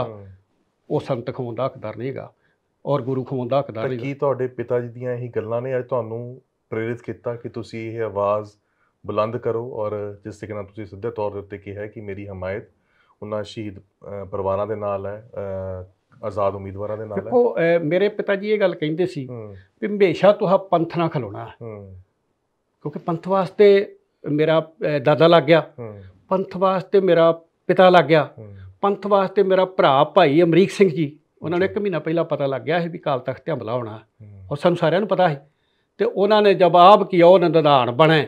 ਅਤ ਹੀਰਨ ਮੈਂ ਤਬ ਜੂਜ ਮਰਉ ਸੂਰਾ ਸੋ ਪਹਿਚਾਨੀਏ ਜੋ ਲਰੇ ਦੀਨ ਕੇ ਹੇਤ ਪੁਰਜਾ ਪੁਰਜਾ ਕੱਟ ਮਰੇ ਕਬੂ ਨਾ ਛੱਡੇ ਖੇਤ। ਉਹਨਾਂ ਨੇ ਅਰਦਾਸ ਕਰਕੇ ਅਰਦਾਸ ਕਰਕੇ ਸੰਤ ਜਰਨੈਲ ਸਿੰਘ ਨੇ ਆਪਣਾ ਤੀਰ ਜਿਹੜਾ ਜਿੱਥੇ ਕਾਲ ਤਖਤ ਸਾਹਿਬ ਤੇ ਸ਼ਾਸਤਰ ਵਿਖਾਉਂਦੇ ਉੱਥੇ ਰੱਖਿਆ। ਆਪਣੀ ਕਿਰਪਾਨ ਰੱਖੀ ਔਰ ਅਰਦਾਸ ਕਰਕੇ ਫਿਰ ਉਹਨਾਂ ਨੇ ਜਦੋਂ ਜਿਹੜਾ ਟੈਂਕ ਜਿੱਥੋਂ ਆਪਾਂ ਪ੍ਰਸ਼ਾਦ ਲੈਨੇ ਆ ਜੀ। ਬਾਹਰ ਨਿਕਲਦੇ ਆ ਨਾ ਜਿੱਥੇ ਲਾਚੀ ਬੇਰੀ ਆ ਹਾਂਜੀ। ਇੱਥੇ ਆ ਗਏ ਸੀ ਟੈਂਕ। ਤੇ ਉਹ ਅਕਾਲ ਤਖਤ ਸਾਹਿਬ ਤੇ ਮਤਲਬ ਨੇੜਿਓਂ ਦਾ ਹਮਲਾ ਹੋ ਰਿਹਾ ਸੀ। ਉਹਨਾਂ ਫਿਰ ਅਰਦਾਸ ਕੀਤੀ ਅਕਾਲ ਤਖਤ ਸਾਹਿਬ ਤੇ। ਕਦੇ ਆਪਣੀ ਮੌਤ ਦੀ ਆਪ ਅਰਦਾਸ ਕਰਕੇ ਸ਼ਹੀਦੀ ਜਿਹੜੀ ਦੇਣੀ ਕੋਈ ਛੋਟੀ ਬਾਤ ਨਹੀਂ ਕੀ ਬਹੁਤ ਵੱਡੀਆਂ ਗੱਲਾਂ ਨੇ। ਬਹੁਤ ਵੱਡਾ ਇਤਿਹਾਸ ਪੁਰਾਤਨ ਇਤਿਹਾਸ ਜਿਸ ਤਰ੍ਹਾਂ ਸਿੱਖ ਕਰਦੇ ਰਹੇ ਆ। ਸੋ ਉਹ ਸ਼ਹੀਦੀ ਦੇ ਗਏ ਹੂੰ। ਮੈਂ ਜੋਧਪੁਰ ਜੇਲ੍ਹ ਮੈਂ ਜੇ ਜੇਲ੍ਹਾਂ ਦੀ ਗੱਲ ਕਰੀਏ ਪਹਿਲਾਂ ਤੇ ਇੱਥੇ ਮਿਲਟਰੀ ਕੈਂਪ 'ਚ ਅਸੀਂ ਸਾਰੇ ਨੰਗੇ ਸੀ ਜਦੋਂ ਸਾਨੂੰ ਫੜ ਕੇ ਲਿਆਂਦਾ ਸੀ। ਕੋਈ ਕੱਪੜਾ ਨਹੀਂ ਰਹਿਣ ਤਾਂ ਨਾਲ ਫਿਰ ਉਸ ਤੋਂ ਬਾਅਦ ਨਾਭਾ ਜੇਲ੍ਹ। ਉਸ ਤੋਂ ਬਾਅਦ ਲੱਦਾ ਕੋਠੀ ਜਿੱਥੇ ਮਾਵਾਂ ਪੁੱਤ ਨਹੀਂ ਸੰਭਾਲਦੀਆਂ ਜਿੰਨਾ ਜ਼ੁਲਮ ਉੱਥੇ ਆ ਸਭ ਤੋਂ ਵੱਧ ਮੈਂ ਰਿਹਾ ਉੱਥੇ ਲੱਦਾ ਕੋਠੀ। ਮੈਂ ਸਾਰੀ ਗੱਲਾਂ ਦੇ ਉੱਤੇ ਜ਼ਰੂਰ ਆਉਂਗਾ ਪਰ ਮੈਂ ਸਭ ਤੋਂ ਪਹਿਲਾਂ ਇਹੀ ਜਾਣਨਾ ਚਾਹੁੰਦਾ ਕਿ ਤੁਹਾਨੂੰ ਇਹਨਾਂ ਸਮਾਂ ਕਿਉਂ ਲੱਗ ਗਿਆ ਫਿਰ? ਜੇ ਅਸਤੀਫਾ ਇਹ ਦੇਣਾ ਹੀ ਸੀ ਤਾਂ ਪਹਿਲਾਂ ਕਿਉਂ ਨਹੀਂ ਅਸਤੀਫਾ ਦਿੱਤਾ ਗਿਆ? ਅਖੀਰਲੇ ਟਾਈਮਾਂ ਦੇ ਵਿੱਚ ਇੱਕ ਹਫ਼ਤੇ ਦੇ ਇਹ ਪੀਰੀਅਡ ਦੇ ਦੌਰਾਨ ਕਿਉਂ ਤੁਹਾਡੇ ਵੱਲੋਂ ਇਹ ਫੈਸਲਾ ਲਿਆ ਗਿਆ? ਮੈਂ ਮੇਰੇ ਦਿਲ 'ਚ ਸੀ ਕਿ ਮੈਂ ਅਕਾਲੀ ਦਲ 'ਚ ਰਹਿ ਕੇ ਹੂੰ। ਜਿਸ ਤਰ੍ਹਾਂ ਮੈਂ ਬੇਅਦਬੀ ਹੋਈ ਸੀ ਹੂੰ। ਤੇ ਬਰਗਾੜੀ ਗਿਆ ਸੀ। ਪਰ ਇਕੱਲਾ ਇਕੱਲੇ ਹੀ ਗਏ ਸੀ। ਇਕੱਲੇ ਗਿਆ। ਹੂੰ। ਮੈਂ ਜਾ ਕੇ ਉੱਥੇ ਬੋਲਿਆ ਵੀ ਸੀ। ਹੂੰ। ਔਰ ਉਹਦੇ ਤੋਂ ਮੇਰੇ ਤੋਂ ਖਾਰ ਵੀ ਖਾਂਦਾ ਸੀ ਅਕਾਲੀ ਦਲ ਵੀ ਹੂੰ। ਇਹ ਕਿਉਂ ਉੱਥੇ ਗਿਆ। ਹੂੰ। ਮੇਰੇ ਘਰ ਸਰਦਾਰ ਸੁਖਬੀਰ ਸਿੰਘ ਬਾਦਲ ਹੂੰ। ਸਰਦਾਰ ਬਿਕਰਮ ਸਿੰਘ ਮਜੀਠੀਆ ਆਏ ਸੀ। ਮੇਰੇ ਬੇਟਾ ਕਵਰਚੜ ਸਿੰਘ ਜੋ ਫੈਡਰੇਸ਼ਨ ਦੇ ਪ੍ਰਧਾਨ ਨੇ ਇਹ ਸੀ। ਮੇਰੇ ਧਰਮ ਪਤਨੀ ਸੀ। ਤਿੰਨ ਅਸੀਂ ਸੀ ਦੋ ਸੀ ਇੱਥੇ ਬਾਕੀ ਸਿੰਘ ਬਹਿ ਗਿਆ ਸੀ ਅੱਗੇ ਚਲੇ ਗਏ। ਉੱਥੇ 1 ਘੰਟਾ ਗੱਲ ਹੋਈ ਤਕਰੀਬਨ। ਹੂੰ। ਇੱਧਰ ਚਾਹ ਪੀਂਦੇ ਰਹੇ ਸਾਰਾ ਕੁਝ ਤੇ ਮੈਂ ਉਹਨਾਂ ਨੂੰ ਕਿਹਾ ਮੈਂ ਕਿਹਾ ਵੀ ਕਹਿੰਦੇ ਮੈਂ ਬੇਦ ਬੇਦਬੀ ਅਸੀਂ ਤਾਂ ਨਹੀਂ। ਮੈਂ ਕਿਹਾ ਨਹੀਂ ਮੈਂ ਨਹੀਂ ਇਹ ਤਾਂ ਤੁਹਾਂ ਕਰਾਈ ਆ। ਹੂੰ। ਬੇਦਬੀ ਕਾਲੀ ਦਲ ਦੇ ਰਾਜ ਚ ਹੋ ਗਈ ਹੂੰ। ਔਰ ਕਾਲੀ ਦਲ ਦੇ ਨਾਂ ਨਾਲ ਲੱਗ ਗਈ ਆ। ਹੂੰ। ਤੂੰ ਨਹੀਂ ਕਰਾਈ? ਠੀਕ ਹੈ ਮੈਂ ਨਹੀਂ ਕਹਿੰਦਾ ਵੀ ਤੁਹਾਂ ਕਰਾਈ ਆ। ਲੇਕਿਨ ਲੱਗ ਗਈ ਉਹ। ਤੇ ਪੰਥਕ ਸਰਕਾਰ ਤੋਂ ਲੋਕ ਤਵੱਕੋ ਨਹੀਂ ਕਰਦੇ ਵੀ ਇਹ। ਐਸੀ ਗੱਲ ਹੋਊਗੀ ਜਾਂ ਸਿੰਘ ਸ਼ਹੀਦ ਹੋਣਗੇ। ਤਵੱਕੋ। ਨਹੀਂ ਕਰਦੇ। ਤੇ ਹੁਣ ਤੁਹਾਨੂੰ ਚਾਹੀਦਾ ਵੀ ਤੁਸੀਂ ਕਾਲ ਤਖਤ ਸਾਹਿਬ ਤੇ ਪੇਸ਼ ਹੋ ਜਾਓ। ਹੂੰ। ਔਰ ਉੱਥੇ ਕਹਿ ਦਿਓ ਵੀ ਜਿਹੜੇ ਲਫ਼ਜ਼ ਇੱਥੇ ਵਰਤੇ ਆ ਵੀ ਅਸੀਂ ਕਰਵਾਈ ਤਾਂ ਨਹੀਂ। ਪਰ ਜੇ ਸਾਥੋਂ ਕੋਈ ਗਲਤੀ ਹੋ ਗਈ ਹੈ ਤੇ ਕਾਲ ਤਖਤ ਸਾਹਿਬ ਨੂੰ ਲਿਖ ਕੇ ਦਿਓ ਕਾਲ ਤਖਤ ਸਾਹਿਬ ਤੁਹਾਨੂੰ ਸੱਦੂਗਾ। ਔਰ ਉੱਥੇ ਆਪਣੇ ਜੋ ਖਾਲਸਾ ਪੰਥ ਆ ਇੱਥੇ ਬੜੇ ਬੜੇ ਆਣ ਕੇ ਪੇਸ਼ ਹੁੰਦੇ ਰਹੇ। ਮਹਾਰਾਜਾ ਰਣਜੀਤ ਸਿੰਘ ਵੀ ਹੋਇਆ ਸੀ। ਮੈਨੂੰ ਕਹਿੰਦੇ ਆਪਾਂ ਦੋਸ਼ੀ ਹੋ ਜਾਣਾ ਮੈਂ ਕਿਹਾ ਦੋਸ਼ੀ ਨਹੀਂ ਬਰੀ ਹੋ ਜਾਣਾ ਜੇ। ਹੂੰ। ਕਿਉਂ ਕਾਲ ਤਖਤ ਸਾਹਿਬ ਨੇ ਭਾਂਡੇ ਦੀ ਸੇਵਾ ਲਾਉਣੀ ਆ ਚਾਹੇ ਜੋੜਿਆਂ ਦੀ ਲਾਊਗਾ ਚਾਹੇ ਲੰਗਰ ਵਰਤਾਉਣ ਦੀ ਲਾਊ ਜਾਂ ਭਾਂਡੇ ਮਾ- ਇਹੋ ਹੀ ਆ ਨਾ। ਸੋ ਤੁਹਾਂ ਬਰੀ ਹੋ ਜਾਣਾ। ਇੱਥੋਂ ਫੈਸਲਾ ਹੋ ਕੇ ਗਿਆ ਇਹ ਰਸਤੇ ਜਾਂਦੇ ਫੇਰ ਰੋਕਤਾ। ਕਿਉਂਕਿ ਇੱਕ ਉਹਨਾਂ ਦੀ ਕਿਚਨ ਕੈਬਨਿਟ ਵੀ ਹੈਗੀ ਆ ਜਿਨ੍ਹਾਂ ਨੂੰ ਮੇਰੇ ਖਿਆਲ ਜਪਜੀ ਸਾਹਿਬ ਦਾ ਪਾਠ ਨਹੀਂ ਆਉਂਦਾ। ਕੌਣ ਨੇ ਉਹ? ਹਾਂਜੀ? ਕੌਣ ਨੇ? ਇੱਕ ਇੱਕ ਕਿਚਨ ਕੈਬਨਿਟ ਆ ਉੱਥੇ ਜਿਨ੍ਹਾਂ ਨੂੰ ਮੇਰੇ ਖਿਆਲ ਜਪਜੀ ਸਾਹਿਬ ਦਾ ਪਾਠ ਵੀ ਮੈਂ ਪੁੱਛਣਾ ਕੌਣ ਨੇ? ਨਹੀਂ ਮੈਂ ਉਹ ਦੱਸਣਾ ਨਹੀਂ ਚਾਹੁੰਦਾ ਤੁਸੀਂ ਪੁੱਛ ਲਿਆ ਜੇ ਕਿਤੇ। ਹੂੰ। ਪੰਜ ਬੜੀਆਂ ਤੇ ਕਿਸੇ ਨੂੰ ਨਹੀਂ ਨਾ ਹੁੰਦੀਆਂ ਗਲੀਆਂ। ਕਿਉਂਕਿ ਇੱਥੋਂ ਫੈਸਲਾ ਹੋ ਕੇ ਗਿਆ ਜੇ ਸਰਦਾਰ ਸੁਖਬੀਰ ਸਿੰਘ ਹਾਲਾਂਕਿ ਉਹ ਫੈਸਲਾ ਇਹਨਾਂ ਨੇ ਭਾਵੇਂ ਹੁਣ ਜਾ ਕੇ ਲਿੱਤਾ ਹੁਣ ਜਾ ਕੇ ਇਹਨਾਂ ਨੇ ਮਾਫੀ ਨਹੀਂ, ਮੰਗੀ ਨਹੀਂ, ਖਾਲਸਾ ਨਹੀਂ ਸਾਹਿਬ ਦੇ। ਉੱਤੇ ਜਾ ਕੇ ਕਿਹਾ ਕਿ ਜਾਣੇ ਅਣਜਾਣੇ ਦੇ ਵਿੱਚ ਸਾਡੇ ਤੋਂ ਜੇ ਗਲਤੀਆਂ ਹੋ ਗਈਆਂ ਤਾਂ ਅਸੀਂ ਉਸ ਦੀ ਖਿਮਾ ਜਾਚਨਾ ਕਰਦੇ ਹਾਂ। ਨਹੀਂ, ਤਾਂ ਉਹ ਚੀਜ਼ ਬਾਅਦ ਤਾਂ ਇਹਨਾਂ ਨੇ ਕੀਤੀ। ਨਹੀਂ ਗਗਨ ਜੀ ਉਹ ਵੀ ਆਪਾਂ ਕਈ ਵਾਰ ਬੰਦਾ ਬੰਦੇ ਨਾਲ ਧੋਖਾ ਕਰੇ ਨਾ ਉਹ ਵੀ ਮਾੜਾ ਆਪਾਂ ਰੱਬ ਨਾਲ ਵੀ ਧੋਖਾ ਕੀਤਾ ਉੱਥੇ। ਕਿਵੇਂ? ਕਾਲ ਤਖਤ ਤੇ ਅਗਲੇ ਪਾਸੋਂ ਮਾਫੀ ਮੰਗੀ ਦੀ ਕਿ ਮਗਰੋਂ ਮੰਗੀ ਦੀ ਆ ਹੁਣ ਤੱਕ ਜਿੰਨਾ ਵੀ ਇਤਿਹਾਸ ਪੜਿਆ ਤੁਹਾਂ ਕਰੀ ਜੀ। ਕਦੇ ਕਾਲ ਤਖਤ ਸਾਹਿਬ ਦੇ ਪਿਛਲੇ ਪਾਸੇ ਖਲੋ ਕੇ ਕਿਸੇ ਮਾਫੀ ਮੰਗੀ ਆ? ਹੂੰ। ਆਪੇ ਮਾਫੀ। ਤੁਹਾਨੂੰ ਸੱਦਿਆ ਕਾਲ ਤਖਤ ਸਾਹਿਬ ਨੇ। ਹੂੰ। ਤੁਸੀਂ ਜਾ ਕੇ ਖਿਮਾ ਜਾਚਨਾ ਕੀਤੀ ਉੱਥੇ? ਆਪਾਂ ਤਾਂ ਕੀਤੀ ਨਹੀਂ ਆਪਾਂ ਤਾਂ ਪਰੰਪਰਾ ਦੀ ਲੰਘਣਾ ਵੀ ਕਰਤੀ ਉਸ ਦੀ। ਹੂੰ। ਸਗੋਂ ਉਲਟਾ ਪਰੰਪਰਾ ਦੀ ਲੰਘਣਾ ਹੋ ਗਈ ਏ। ਉਦੋਂ ਕਿਉਂ ਨਹੀਂ ਸਵਾਲ ਚੁੱਕੇ ਕਿਸੇ ਨੇ? ਅੰਦਰ ਕਹਿੰਦੇ ਨੇ ਮੈਂ ਤਾਂ ਜਹੇਦਾਰ ਸਾਹਿਬ ਨੂੰ ਵੀ ਕਹਿੰਦਾ ਰਿਹਾ ਮੈਂ ਤੁਹਾਨੂੰ ਕਿੰਨੀ ਕੁ ਦੱਸਾਂ ਮੈਂ ਕਿਹਨੂੰ ਕਿਹਨੂੰ ਕਹਿੰਦਾ ਰਿਹਾ? ਕੋਈ ਨਹੀਂ ਸੁਣਦਾ। ਮਾ- ਸਾਨੂੰ ਜਿਹੜਾ ਸ਼ਹੀਦਾਂ ਦਾ ਪਰਿਵਾਰ ਆ ਉਲਟਾ ਇਹ ਕਹਿੰਦੇ ਆ ਵੀ ਇਹ ਵੀ ਸ਼ਹੀਦ ਹੋ ਗਏ ਆ। ਹੂੰ। ਇਹਨੂੰ ਸਿਆਸੀ ਤੌਰ ਤੇ ਸ਼ਹੀਦ ਕਰਤਾ। ਤਾਂ ਕਿਹੜੀ ਕਿਹੜੀ ਗੱਲ ਦੱਸੀ? ਕਿੰਨੇ ਪਰਿਵਾਰੀ ਐਵੇਂ ਤਾਂ ਹੋ ਹੀ ਚੁੱਕੇ ਨੇ ਫਿਰ? ਪਰਿਵਾਰ ਪੰਥਕ ਪਰਿਵਾਰ ਕੋਈ ਨਾਲ ਹੈਗਾ ਤੇ ਦੱਸ ਦਿਓ। ਜਿਹੜਾ ਜਿਹਨੇ ਕੋਈ ਲੰਮੀ ਜੇਲ੍ਹ ਕੱਟੀ ਭਾਈ ਸਤਵੰਸੋ ਦਾ ਪਰਿਵਾਰ ਆ ਭਾਈ ਕੇਰ ਸਿੰਘ ਦਾ ਪਰਿਵਾਰ ਆ ਜਿੰਦੇ ਸੁਖੇ ਉਹਨਾਂ ਦਾ ਪਰਿਵਾਰ ਆ ਚਾਹੇ ਰੋਡਿਆਂ ਵਾਲੇ ਦਾ ਪਰਿਵਾਰ ਆ ਚਾਹੇ ਭਾਈ ਸਾਹਿਬ ਭਾਈ ਅਮਰੀਕ ਸਿੰਘ ਦਾ ਪਰ ਮੈਂ ਹੀ ਸੀ ਇਕੱਲਾ ਹੂੰ। ਅਕਾਲੀ ਦਲ ਚ ਤੇ ਮੈਨੂੰ ਤਾਂ ਧੱਕੇ ਮਾਰ ਕੇ ਕੱਢਣ ਡਏ ਉਦੋਂ ਪਹਿਲਾਂ ਕਿੰਨੇ ਬੰਦਿਆਂ ਨੂੰ ਕੱਢਿਆ? ਹੂੰ। ਹਰਮਿੰਦਰ ਗਿੱਲ ਨੂੰ ਧੱਕੇ ਮਾਰ ਕੇ ਕੱਢਿਆ ਇੱਥੋਂ। ਸਰਵਨ ਸਿੰਘ ਨੂੰ ਧੱਕੇ ਮਾਰ ਕੇ ਕੱਢਿਆ। ਜਿਹੜਾ ਦੂਜੇ ਪਾਸੇ ਜਾ ਕੇ। ਹਾਂਜੀ। ਆਹ ਹੁਣ ਤਨਵੀਰ ਸਿੰਘ ਉਹ ਚਲਾ ਗਿਆ। ਉਦੋਂ ਪਹਿਲਾਂ ਕਿੰਨੇ ਬੰਦੇ ਜਿਹੜੇ ਪਹਿਲਾਂ ਉਹ ਡਾਕਟਰ ਰਤਨ ਸਿੰਘ ਉਹ ਭੱਜ ਗਿਆ। ਔਰ ਉਸ ਤੋਂ ਬਾਅਦ ਆ- ਰਵੀਕਰਨ ਕੱਲ ਪਰਸੋਂ ਦੀ ਗੱਲ ਨਹੀਂ। ਪਹਿਲਾਂ ਰਵੀਕਰਨ ਦਾ ਤੁਹਾਨੂੰ ਨਾਂ ਨਹੀਂ ਲਿਆ। ਪਹਿਲਾਂ ਉਹਨੂੰ ਕੱਢਿਆ। ਫਿਰ ਹੁਣ ਸਤਿਕਾਰਯੋਗ ਸਾਡੇ ਭਾਈਆ ਜੀ। ਕਿਉਂਕਿ ਅਕਾਲੀ ਦਲ ਦੇ ਜਦੋਂ ਪ੍ਰਧਾਨ ਦੇ ਭਾਈਆ ਜੀ ਸਾਡੇ ਭਾਈਆ ਜੀ। ਲੱਗਦੇ ਸਾਰਿਆਂ ਦੇ ਉਹ। ਜੀ। ਉਹ ਕੱਢਦੇ ਇਸ ਤਰ੍ਹਾਂ ਤਾਂ ਮੇਰੇ ਹੱਕ ਕਦੇ ਜੇ ਘਰ 'ਚ ਆਪਾਂ ਕੋਈ ਰੱਖਿਆ ਹੋਵੇ ਨਾ ਕੋਈ ਜਾਨਵਰ ਵੀ ਰੱਖਿਆ ਹੋਵੇ ਇਸ ਤਰ੍ਹਾਂ ਦਾ ਆਪਾਂ ਉਹਨੂੰ ਨਹੀਂ ਕੱਢਦੇ ਬਾਹਰ ਜਿਸ ਤਰ੍ਹਾਂ ਬਿਨਾ ਪੁੱਛਿਆ ਤਾਂ ਬਾਹਰ ਪਰ ਉਹ ਹਵਾਲਾ ਦਿੰਦੇ ਨੇ ਕਿ ਕਹਿੰਦੇ ਕਿ ਪਾਰਟੀ ਗਤੀਵਿਧੀਆਂ ਜਿਹੜੀਆਂ ਨੇ ਉਹਨਾਂ ਦੀਆਂ ਐਂਟੀ ਨੇ ਐਂਟੀ ਪਾਰਟੀ ਗਤੀਵਿਧੀਆਂ ਕਰ ਰਹੇ ਗਗਨ ਨੇ। ਜੀ ਉਹਨਾਂ ਤੋਂ ਪੁੱਛਦੇ ਕਾਰਨ ਦੱਸੋ ਨੋਟਿਸ ਇੱਕ ਪਾਰਟੀ ਦਾ ਡਿਸਪਲਿਨ ਬਣਿਆ ਹੈ। ਹੂੰ। ਕਾਰਨ ਦੱਸੋ ਨੋਟਿਸ ਦਿੰਦੇ ਉਹਨਾਂ ਹੂੰ। ਉਹ ਦੱਸਦੇ ਠੀਕ ਹੈ ਨਾ? ਸੋ ਆਪਾਂ ਕੁਰਬਾਨੀ ਵਾਲਿਆਂ ਨੂੰ ਚਲੋ ਉਹ- ਉਹਨਾਂ ਦੀ ਤਾਂ ਗੱਲ ਇਹਨੇ ਪੁੱਛਿਆ ਹੀ ਨਹੀਂ ਤਾਂ ਕੱਢਤਾ। ਤੇ ਇੱਧਰ ਮੈਨੂੰ 40 ਸਾਲ ਹੋ ਗਏ ਧੱਕੇ ਖਾਂਦੇ ਨੂੰ 40 ਸਾਲ। ਹੂੰ। 40 ਸਾਲ ਧੱਕੇ ਖਾਂਦੇ ਹੋ ਗਏ ਆ। ਲੇਕਿਨ ਇੱਥੇ ਜਦੋਂ ਜਾਂਦੇ ਉਹ ਉਲਟਾ ਇਹ ਆਉਂਦੇ ਆ ਵੀ ਸ਼ਹੀਦਾਂ ਦੇ ਪਰਿਵਾਰੇ ਵੀ ਸ਼ਹੀਦ ਹੋ ਗਏ ਆ। ਮਤਲਬ। ਮਖੌਲ ਕਰਦੇ ਸਾਡੇ ਲੋਕ। ਜਿਹੜੇ ਸਾਡੇ ਵਰਗੇ ਲੋਕ ਉਹਨਾਂ ਨੂੰ ਮਖੌਲ ਕੀਤਾ ਜਾਂਦਾ। ਐਵੇਂ ਕੀਤਾ ਜਾਂਦਾ ਤੁਹਾਡੇ ਕੀਤਾ? ਜਾਂਦਾ ਸੀ। ਔਰ ਹੂਟਿੰਗ ਕੀਤੀ ਜਾਂਦੀ ਸੀ। ਪਰ ਸਾਡੇ ਪਿਤਾ ਨੇ ਕਿਹਾ ਸੀ ਕਿ ਅਕਾਲੀ ਦਲ ਚ ਰਹਿਣਾ ਪੰਥ ਨਾਲ ਰਹਿਣਾ ਔਰ ਨੰਗੇ ਧੜ ਮੈਤ ਕਰਨੀ ਆ। ਔਰ ਪੰਥ ਦਾ ਜੇ ਕੁੱਤਾ ਵੀ ਖਲੋਤਾ ਹੋਵੇ ਉਹਦੀ ਮੈਤ ਕਰਨੀ ਹੈ ਇਹ ਤੇ ਇਹ ਵੀ। ਲਫ਼ਜ਼ੇ ਵਰਤਦੇ ਹੁੰਦੇ ਤੇ ਜੇ ਅੱਜ ਦੋ ਸੀਟਾਂ ਹੀ ਛੱਡ ਵੀ ਦਿੰਦੇ ਭਲਾ ਪਰ ਲਈਆਂ। ਇੱਕ ਅਮਰਤਪਾਲ ਵਾਲੀ ਛੱਡ ਦਿੰਦੇ ਇੱਕ ਭਾਈ ਸਤਵੰਤ ਸਿੰਘ ਦਾ ਬੇਟਾ ਬਿਆਨ ਸਿੰਘ ਦਾ। ਕਿੰਨੀ ਵੱਡੀ ਕੁਰਬਾਨੀ ਕੀਤੀ ਯਾਰ ਉਹਨਾਂ। ਕਰਦਾ ਹੁੰਦਾ ਜਿਸ ਤਰ੍ਹਾਂ ਉਹਨਾਂ ਨੇ ਕੀਤੀ ਆ। ਇਹ ਇਹ ਪਾਰਟੀ ਪਲੇਟਫਾਰਮ ਦੇ ਉੱਤੇ ਚਰਚਾਵਾਂ ਹੋਈਆਂ ਸੀ ਕਿ ਸਾਨੂੰ ਖਡੂਰ ਸਾਹਿਬ ਦੀ ਸੀਟ ਛੱਡਣੀ ਚਾਹੀਦੀ ਹੈ? ਬਿਲਕੁਲ। ਹੂੰ। ਸੁਣਦਾ ਹੀ ਕੋਈ ਨਹੀਂ। ਕੋਰ ਕਮੇਟੀ ਦੇ ਵਿੱਚ ਹੋਈਆਂ ਕਦੋਂ ਹੋਈਆਂ ਇਹ? ਮੈਂ ਮੈਂ ਤਾਂ ਕੋਰ ਕਮੇਟੀ 'ਚ ਹੈ ਨਹੀਂਗਾ ਕਿਉਂਕਿ ਚੰਗਾ ਬੰਦਾ ਆਪਾਂ ਕਿਸੇ ਚੰਗੇ ਉਹਦੇ ਤੇ ਰੱਖਣਾ ਹੀ ਨਹੀਂ ਕਾਲੀ ਦਲ ਨੇ ਕੋਈ ਚੰਗੀ ਸਲਾਹ ਦੇ ਦਿੰਦਾ ਹੂੰ। ਉਹਨੂੰ ਨਹੀਂ ਰੱਖਣਾ ਚਾਹੀਦਾ ਉੱਥੇ। ਉਹ ਤਾਂ ਬਹੁਤ ਹੀ ਕੁਰਬਾਨੀ ਵਾਲਿਆਂ ਨੂੰ ਹੂੰ। ਕਿ ਹੁੰਦੇ ਨਾ ਕਿਸੇ ਨੂੰ ਮੁਸ਼ਕਲ ਹੂੰ। ਬਹੁਤ ਹੀ ਅਕਾਲੀ ਦਲ। ਹੂੰ। ਅਕਾਲੀ ਦਲ ਅਕਾਲੀ ਦਲ ਹੀ ਰਹਿ ਗਿਆ। ਅਕਾਲੀ ਦਲ ਚੋਂ ਪੰਥਕ ਰੂਹ ਮਰ ਗਈ ਹੈ ਜਿਹੜੇ ਪੰਥਕ ਰੂਹ ਹੀ ਨਾ ਇੱਕ ਜਜ਼ਬਾ ਸੀ। ਅਕਾਲੀ ਦਲ ਇੱਕ ਲਹਿਰ ਸੀ। ਜੀ। ਅੱਜ ਲਹਿਰ ਤਾਂ ਉਧਰ ਬਣੀ ਹੈ ਉਹਦੇ ਨਾਲ। ਅੰਮ੍ਰਿਤਪਾਲ ਨਾਲ ਲਹਿਰ ਬਣੀ ਆ। ਜੀ। ਤੇ ਹੈ ਤਾਂ ਅਕਾਲੀ ਦਲ ਲਹਿਰ ਸੀ ਇੱਕ। ਹੂੰ। ਅਕਾਲੀ ਦਲ ਸੱਚ ਵਾਲੇ ਲੋਕਾਂ ਦਾ ਇੱਕ ਕਾਫਲਾ ਸੀਗਾ। ਔਰ ਕੁਰਬਾਨੀ ਕਰਨ ਵਾਲਿਆਂ ਜੇਲ੍ਹ ਕੱਟਣ ਵਾਲਿਆਂ ਫਾਂਸੀ ਦੇ ਫੰਦਿਆਂ ਤੇ ਝੁੱਟਣ ਵਾਲਿਆਂ ਦਾ। ਔਰ ਉਹ- ਉਹਦਾ ਭਾਈ ਬਿਆਨ ਸਿੰਘ ਦਾ ਪੁੱਤ ਜਿਹੜਾ ਬੇਟਾ ਹੈ ਕਿੱਡੀ ਵੱਡੀ ਕੁਰਬਾਨੀ ਉਹ ਬੰਦੇ ਦੀ। ਆਹ ਡਿਬਰੂਗੜ੍ਹ ਜੇਲ੍ਹ 'ਚ ਦਿੱਤਾ। ਜੇ ਦੋ ਸੀਟਾਂ ਭਲਾ ਛੱਡ ਵੀ ਦਿੰਦਾ ਅਕਾਲੀ ਦਾ ਫਿਰ ਕੀ ਹੋਣਾ ਸੀ ਭਲਾ? ਹੂੰ। ਕਿਉਂਕਿ ਮੇਰੇ ਖਿਆਲ ਇਹਦੇ ਨਾਲ ਦੂਜੀਆਂ ਸੀਟਾਂ ਵੀ ਜਿਹੜਾ ਸੀ ਉੱਤੇ ਚੰਗਾ ਅਸਰ ਪੈਣਾ ਸੀ। ਤੁਸੀਂ ਕਹਿ ਰਹੇ ਹੋ ਚੰਗਾ ਅਸਰ ਪੈਣਾ ਸੀ ਪਰ ਸ਼ਾਇਦ ਕੈਲਕੂਲੇਸ਼ਨਾਂ ਕੀ ਪਤਾ ਅਕਾਲੀ ਦਲ ਦੀਆਂ ਇਹ ਹੁਣ ਕਿ ਬੀਜੇਪੀ ਦੇ ਨਾਲ ਅਸੀਂ ਇਨ ਟੱਚ ਦੇ ਵਿੱਚ ਨਹੀਂ ਹੈਗੇ ਹਿੰਦੂ ਵੋਟਰ ਜਿਹੜੇ ਨੇ ਉਹ ਕਿੱਧਰਲੇ ਪਾਸੇ ਨੂੰ ਜਾਣਗੇ ਉਹ ਵੋਟ ਖਰਾਬ ਹੋਊਗੀ। ਹਾਲਾਂਕਿ 13 ਦੀ 13 ਸੀਟਾਂ ਦੇ ਉੱਤੇ ਅਕਾਲੀ ਦਲ ਇਕੱਲੇ ਚੋਣ ਲੜ ਰਹੇ ਹੈ। ਜਦੋਂ ਬਰਨਾਲੇ ਨੇ ਇੱਥੇ ਪੰਜਾਬ 'ਚ ਇਲੈਕਸ਼ਨ ਲੜੀ ਸੀ ਹੂੰ। 1985 'ਚ ਹੂੰ। ਜਦੋਂ ਮੈਂ ਮੁੱਖ ਮੰਤਰੀ ਦੀ ਕੁਰਸੀ ਛੱਡੀ ਸੀ ਮੈਂ ਤੁਹਾਨੂੰ ਪਹਿਲਾਂ ਉਹ ਗੱਲ ਸੁਣਾਈ ਹੂੰ। ਕਿ ਨਹੀਂ। ਉਸ ਟਾਈਮ ਤੇ ਕੱਲਾ ਅਕਾਲੀ ਦਲ ਹੀ ਲੜਿਆ ਸੀ। ਹੂੰ। ਉਦੋਂ ਭਾਰਤੀ ਜਨਤਾ ਪਾਰਟੀ ਨਾਲ ਹੈਗੀ ਸੀ। ਹੂੰ। ਉਹ 85 84 85 ਸੀਟਾਂ। ਹਾਲਾਂਕਿ ਕਲੇਮ ਜ਼ਰੂਰ ਕਰਦੇ ਨੇ ਕਹਿੰਦੇ ਕਿ ਅਸੀਂ ਇਸ ਵਾਰ ਪੰਜਾਬ ਦੇ ਨਾਲ ਆ ਅਸੀਂ ਪੰਥ ਦੇ ਨਾਲ ਆ ਅਸੀਂ ਆਪਣਾ ਸਮਝੌਤਾ ਬੀਜੇਪੀ ਦੇ ਨਾਲ ਨਹੀਂ ਕੀਤਾ। ਤਾਂ ਲੱਗਦਾ ਕਿ ਵਾਕਈ ਹੀ ਪੰਥ ਨਾਲ ਅਕਾਲੀ ਦਲ ਖੜਾ ਹੋਇਆ। ਨਹੀਂ ਉਹਨਾਂ ਨੇ ਇਹਨਾਂ ਦੀ ਬੇਪਸੰਦਗੀ ਕੀਤੀ ਆ। ਇਹ ਵਾਰ-ਵਾਰ ਉਹਨਾਂ ਦੇ ਬੂਹੇ ਤੇ ਜਾ ਜਾ ਕੇ ਭੌਂ ਭੌਂ ਕੇ ਆਉਂਦੇ ਰਹੇ ਉੱਥੇ ਜਾ ਜਾ ਤਰਲੇ ਮਾਰਦੇ ਹਾੜੇ ਕਰਦੇ ਰਹੇ। ਹਾੜੇ ਕਰਦੇ ਰਹੇ ਉਹਨਾਂ ਜਾ ਕੇ। ਔਰ ਉਹਨਾਂ ਨੇ ਇਹਨਾਂ ਦੀ ਗੱਲ ਸੁਣੀ। ਇਹ ਨਹੀਂ ਕਿ ਵੀ ਇਹਨਾਂ ਨੇ ਪੰਥ ਇਹ- ਇਹਨਾਂ ਕੋਲ ਪੰਥਕ ਏਜੰਡਾ ਚੱਲ ਦੱਸੋ ਕਿਹੜਾ ਪੰਥਕ ਏਜੰਡਾ?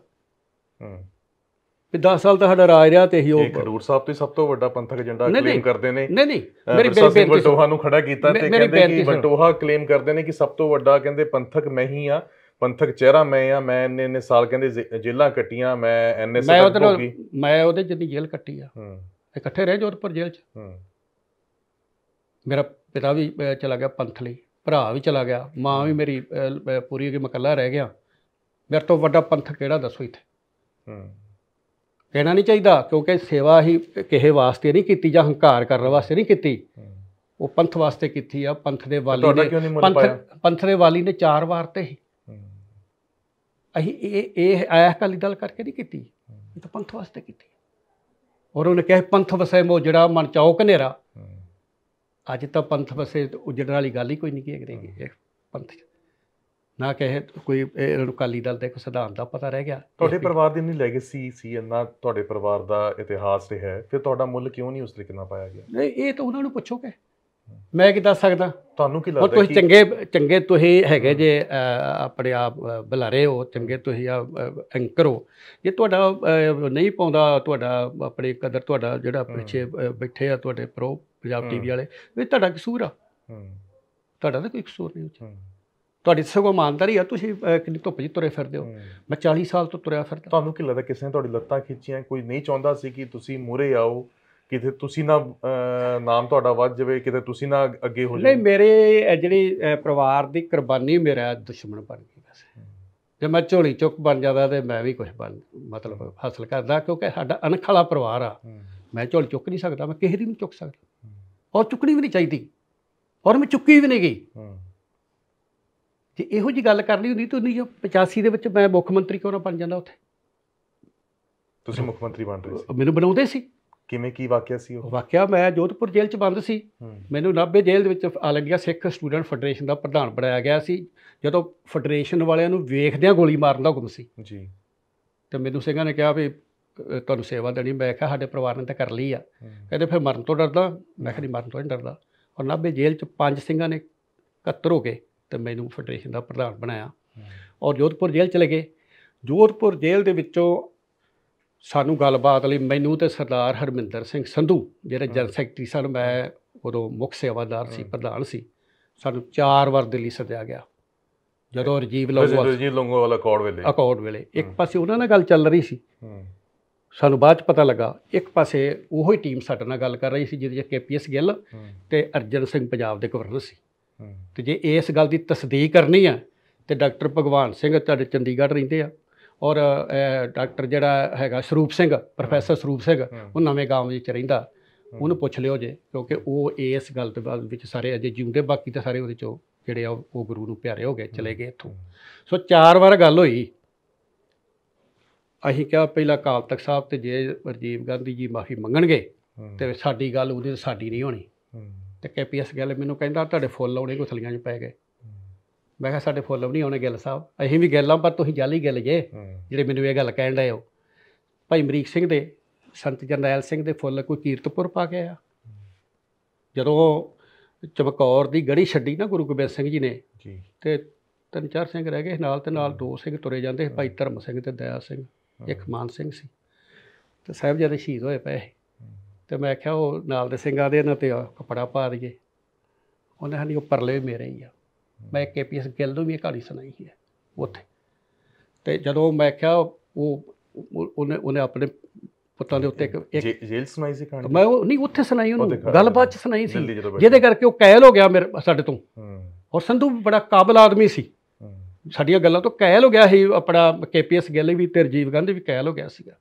ਔਰ ਉਹ ਜਦੋਂ ਮੈਂ ਇਹ ਗੱਲ ਉਹਨੂੰ ਸੁਣਾਈ ਤੇ ਇੱਕ ਰਾਤ ਸਾਡੀ ਟੁੱਟ ਗਈ ਗੱਲ ਕਿਉਂਕਿ ਜਦੋਂ ਇਹ ਗੱਲ ਤੋਂ ਸਾਨੂੰ ਜੋਧਪੁਰ ਲੈ ਗਏ ਜਦੋਂ ਇਹ ਗੱਲ ਕਹਿਤੀ ਵੀ ਤੁਸੀਂ ਜਾਲੀ ਗੱਲ ਜੇ ਫਿਰ ਉਹਨਾਂ ਸਾਨੂੰ ਅੱਠੀ ਦਹੀਂ ਦਿਨ ਫਿਰ ਸੱਦਿਆ। ਕਹਿੰਦੇ ਤੁਹਾਡੀ ਇੱਕ ਗੱਲ ਪ੍ਰਵਾਨ ਹੋ ਗਈ ਇਹ ਕਿਹੜੀ ਜੀ? ਕਹਿੰਦੇ ਵੀ ਰਜੀਵ ਗਾਂਧੀ ਜੀ ਮਾਫੀ ਕਾਲ ਤੱਕ ਸਾਹਿਬ ਤੇ ਮੰਗ ਲੈਣਗੇ। ਮੈਂ ਠੀਕ ਹੈ। ਪਰ ਅਸੀਂ ਆਖਿਆ ਅਗਲੀ ਗੱਲ ਤੁਹਾਡੇ ਨਾਲ ਨਹੀਂ ਹੁਣ ਅਸੀਂ ਕਰਨੀ। ਸਾਡੇ ਨਾਲ ਗੱਲ ਜੇ ਕਰਾਉਣੀ ਸਿੱਧੀ ਕਰਾਓ। ਰਜੀਵ ਗਾਂਧੀ ਨਾਲ ਸਾਡੀ ਉਹਨਾਂ ਨੇ ਗੱਲ ਕਰਾਈ। ਔਰ ਉਹਦੇ 'ਚ ਉਹ ਬੈਂਦੇ ਆ ਮੈਨੂੰ ਇਹ ਮੈਨੂੰ ਤਾਂ ਸੰਧੂ ਨੂੰ ਕਹਿਣ ਲੱਗੇ ਤੁਸੀਂ ਖਾਲਿਸਤਾਨ ਦੀ ਗੱਲ ਛੱਡ ਦਿਓ ਜੀ। ਆਖਿਆ ਛੱਡਤੀ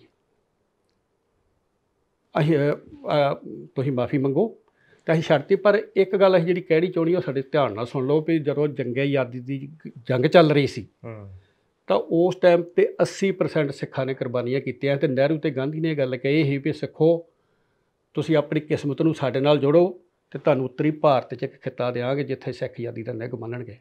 ਤੇ ਮੈਂ ਕਿਹਾ ਜੀ ਤੁਸੀਂ ਸਾਨੂੰ ਖਿੱਤਾ ਦੇ ਦਿਓ ਜਿਹੜਾ ਨਾਂ ਤੁਸੀਂ ਆਖੋਗੇ ਪ੍ਰਧਾਨ ਮੰਤਰੀ ਸਾਹਿਬ ਉਹ ਅਸੀਂ ਉਹ ਨਾਂ ਰੱਖ ਲਾਂਗੇ। ਇਹ ਛੱਡਤਾ ਉਹ ਸੋਚਾਂ 'ਚ ਪੈ ਗਿਆ ਇੱਕ ਪੈਨ ਜਾਂ ਮੂੰਹ 'ਚ ਪਿਆ ਉਹ ਕਹਿਣ ਲੱਗਾ ਯਾਰ ਉਹਨਾਂ ਗੱਲਾਂ ਦਾ ਤਾਂ ਮੈਨੂੰ ਪਤਾ ਨਹੀਂਗਾ ਕੇਪੀਐਸ ਨਹੀਂ ਹੂੰ। ਰਾਜੀਵ ਗਾਂਧੀ। ਅੱਛਾ। ਕਹਿੰਦਾ ਉਹਨਾਂ ਗੱਲਾਂ ਦਾ ਤਾਂ ਮੈਨੂੰ ਪਤਾ ਨਹੀਂਗਾ ਤੁਸੀਂ ਇਹ ਤੋਂ ਕੋਈ ਸੌਖੀ ਦੱਸੋ ਗੱਲ ਹੋਰ। ਹੂੰ। ਅਸੀਂ ਇਹ ਕੱਲ ਦੱਸਾਂਗੇ। ਅਸੀਂ ਸਲਾਹ ਕਰਕੇ ਜਦੋਂ ਅਗਲੇ ਦਿਨ ਸ਼ਾਮ ਨੂੰ ਫਿਰ ਉਹ ਸਾਡੇ ਕੋਲੇ ਆਏ ਕਿਉਂਕਿ ਸਾਨੂੰ ਨਹੀਂ ਲੈ ਕੇ ਜਾਂਦੇ ਸਾਨੂੰ ਤਾਂ ਉੱਥੋਂ ਲਿਆ ਕੇ ਤੇ ਇੱਕ ਰੈਸਟ ਹਾਊਸ ਜਿਸ ਤਰ੍ਹਾਂ ਬੰਦੀ ਰੱਖਿਆ ਹੁੰਦਾ ਤੇ ਰੱਖਿਆ ਹੁੰਦਾ ਸੀ। ਤੇ ਅਸੀਂ ਜਦੋਂ ਅਗਲੇ ਦਿਨ ਸਾਨੂੰ ਬੁਲਾਇਆ ਤੇ ਅਸੀਂ ਆਖਿਆ ਵੀ ਇੱਕ ਤਾਂ ਮਾਫੀ ਵਾਲੀ ਗੱਲ ਤੁਹਾਂ ਮੰਨ ਹੀ ਲਈ ਆ। ਤੇ ਇੱਕ ਤੁਸੀਂ ਸਾਨੂੰ 370 ਧਾਰਾ ਜੰਮੂ ਕਸ਼ਮੀਰ ਵਾਲੀ ਸਿੱਖਾਂ ਨੂੰ ਦੇ ਦਿਓ। ਤੇ ਸਾਡੇ ਸਾਰੇ ਮੁੰਡੇ ਛੱਡ ਦਿਓ ਇੱਕ ਪੰਜਾਬੀ ਬੋਲਦੇ ਇਲਾਕੇ ਤੇ ਪਾਣੀ ਦਾ ਮਸਲਾ ਹੱਲ ਨਾ ਗੁੱਸਾ ਵਾਲਾ ਮਤਾ ਨਹੀਂ ਹੂੰ। ਅਨੰਦਪੁਰ ਸਾਹਿਬ ਵਾਲਾ ਮਤਾ ਸਮਝ ਲਓ। ਕਿਉਂਕਿ ਉਹਦੇ ਚ ਪੰਜਾਬੀ ਬੋਲਦੇ ਇਲਾਕੇ ਵੀ ਹੈਗੇ ਸੀ ਤੇ ਪੰਜਾਬ ਦੇ ਪਾਣੀਆਂ ਦਾ ਮਸਲਾ ਵੀ ਹੈਗਾ ਸੀ। ਉਹਨਾਂ ਦੀ 370 ਧਾਰਾ ਤੁਹਾਨੂੰ ਦੇ ਦਾਂਗੇ ਮੁੰਡੇ ਤੁਹਾਡੇ ਸਾਰੇ ਛੱਡ ਦਿਆਂਗੇ। ਜਿਹੜੀ ਸਾਡੇ ਨਾਲ ਗੱਲ ਫਾਈਨਲ ਹੋਈ ਸੀ। ਤੇ 101 ਜਥੇ ਦਾ ਪਹਿਲਾ ਕਿਉਂਕਿ ਮੇਰੇ ਤੇ ਹੋਰ ਕੋਈ ਕੇਸ ਨਹੀਂ ਸੀ ਮੈਨੂੰ ਇਸ ਕਰਕੇ ਧੂਈ ਫਿਰਦੇ ਸੀ ਮੈਂ ਭਾਈ ਅਮਰੀਕ ਸਿੰਘ ਦਾ ਭਰਾ ਹਾਂ। ਮੈਂ ਤੇ ਕੋਈ ਸਿਰਫ ਜੋਧਪੁਰ ਵਾਲਾ ਕੇਸ ਸੀ ਜਿਹੜਾ ਵੇਜਿੰਗ ਵਾਰ ਦਾ ਸੀ। ਅਗੇਂਸਟ ਦਾ ਸਟੇਟ ਜਿਹੜਾ ਜਿਹਦੇ ਚ ਘੱਟੋ ਘੱਟ ਸਜ਼ਾ ਜਿਹੜੀ ਆ ਉਹ 20 ਸਾਲ ਤੇ ਜਿਹੜੀ ਵੱਧ ਤੋਂ ਵੱਧ ਫਾਂਸੀ ਸੀ। ਜਦੋਂ ਸ਼ਾਮ ਨੂੰ ਗਿਣਤੀ ਮਿੰਤੀ ਹੁੰਦੀ ਸੀ ਨਾ ਸਾਡੀ ਤੇ ਆ ਫੈਡਰੇਸ਼ਨ ਵਾਲੇ ਜਿੰਨੇ ਸੀ ਤੇ ਜਾਂ ਜਿਹੜੇ ਟੈਕਸ ਵਾਲੇ ਕਹਿੰਦੇ ਇਹ ਤਾਂ ਫਾਂਸੀ ਲੱਗਣ ਵਾਲੇ ਆ। ਅਸੀਂ ਰੋਜ਼ ਹੱਸ ਕੇ ਕਹਿਣਾ ਕਹਿੰਦਾ ਸਾਨੂੰ ਯਾਰ ਤੁਸੀਂ ਲਾਈ ਜਾਂਦੇ ਜੇ ਫਾਂਸੀ ਸਾਨੂੰ ਪਤਾ ਨਹੀਂ ਸਰਕਾਰ ਲਾਉਣਾ ਕਿ ਨਹੀਂ ਲਾਉਣਾ। ਸੋ ਇਹ ਗੱਲਾਂ ਸਾਡੀਆਂ ਤੈਅ ਹੋ ਗਈਆਂ ਤੇ ਦੂਜੇ ਪਾਸੇ ਸਾਨੂੰ ਨਹੀਂ ਪਤਾ ਵੀ ਉਹ ਗੱਲ ਉਧਰ ਚੱਲ ਰਹੀ ਆ ਸੰਤਰ ਚੰਦ ਸਿੰਘ ਲੌਂਗੋਵਾਲ ਬਲਵੰਤ ਸਿੰਘ ਜਾਣਦੇ ਬਲਵੰਤ ਸਿੰਘ ਨੂੰ ਜੀ। ਕੀ ਤੇ ਬਰਨਾਲਾ। ਹੂੰ। ਚਲੋ ਉਹਨਾਂ ਨੂੰ ਪੁੱਛਿਆ ਵੀ ਤੁਸੀਂ ਕੀ ਚਾਹੁੰਦੇ ਜੇ? ਉਹ ਕਹਿੰਦੇ ਕੁਝ ਵੀ ਨਹੀਂ ਚਾਹੁੰਦੇ ਜੀ। ਚੰਡੀਗੜ੍ਹ ਦੇ ਦਿਓ ਤੇ ਸਾਡੀ ਸਰਕਾਰ ਬਣਾ ਦਿਓ ਤੇ ਅਸੀਂ ਆਪਣੇ ਮਸਲੇ ਆਪੇ ਹੱਲ ਕਰ ਲਾਂਗੇ।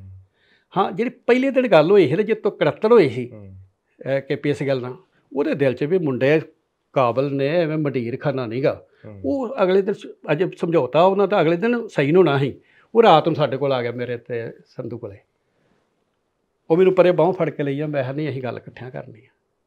ਕਹਿੰਦਾ, ਸਰਦਾਰਾ, ਦੋ ਚੀਜ਼ਾਂ ਛੱਡ ਦੇ। ਮੈਂ ਕਿਹਾ, ਕਿਹੜੀਆਂ?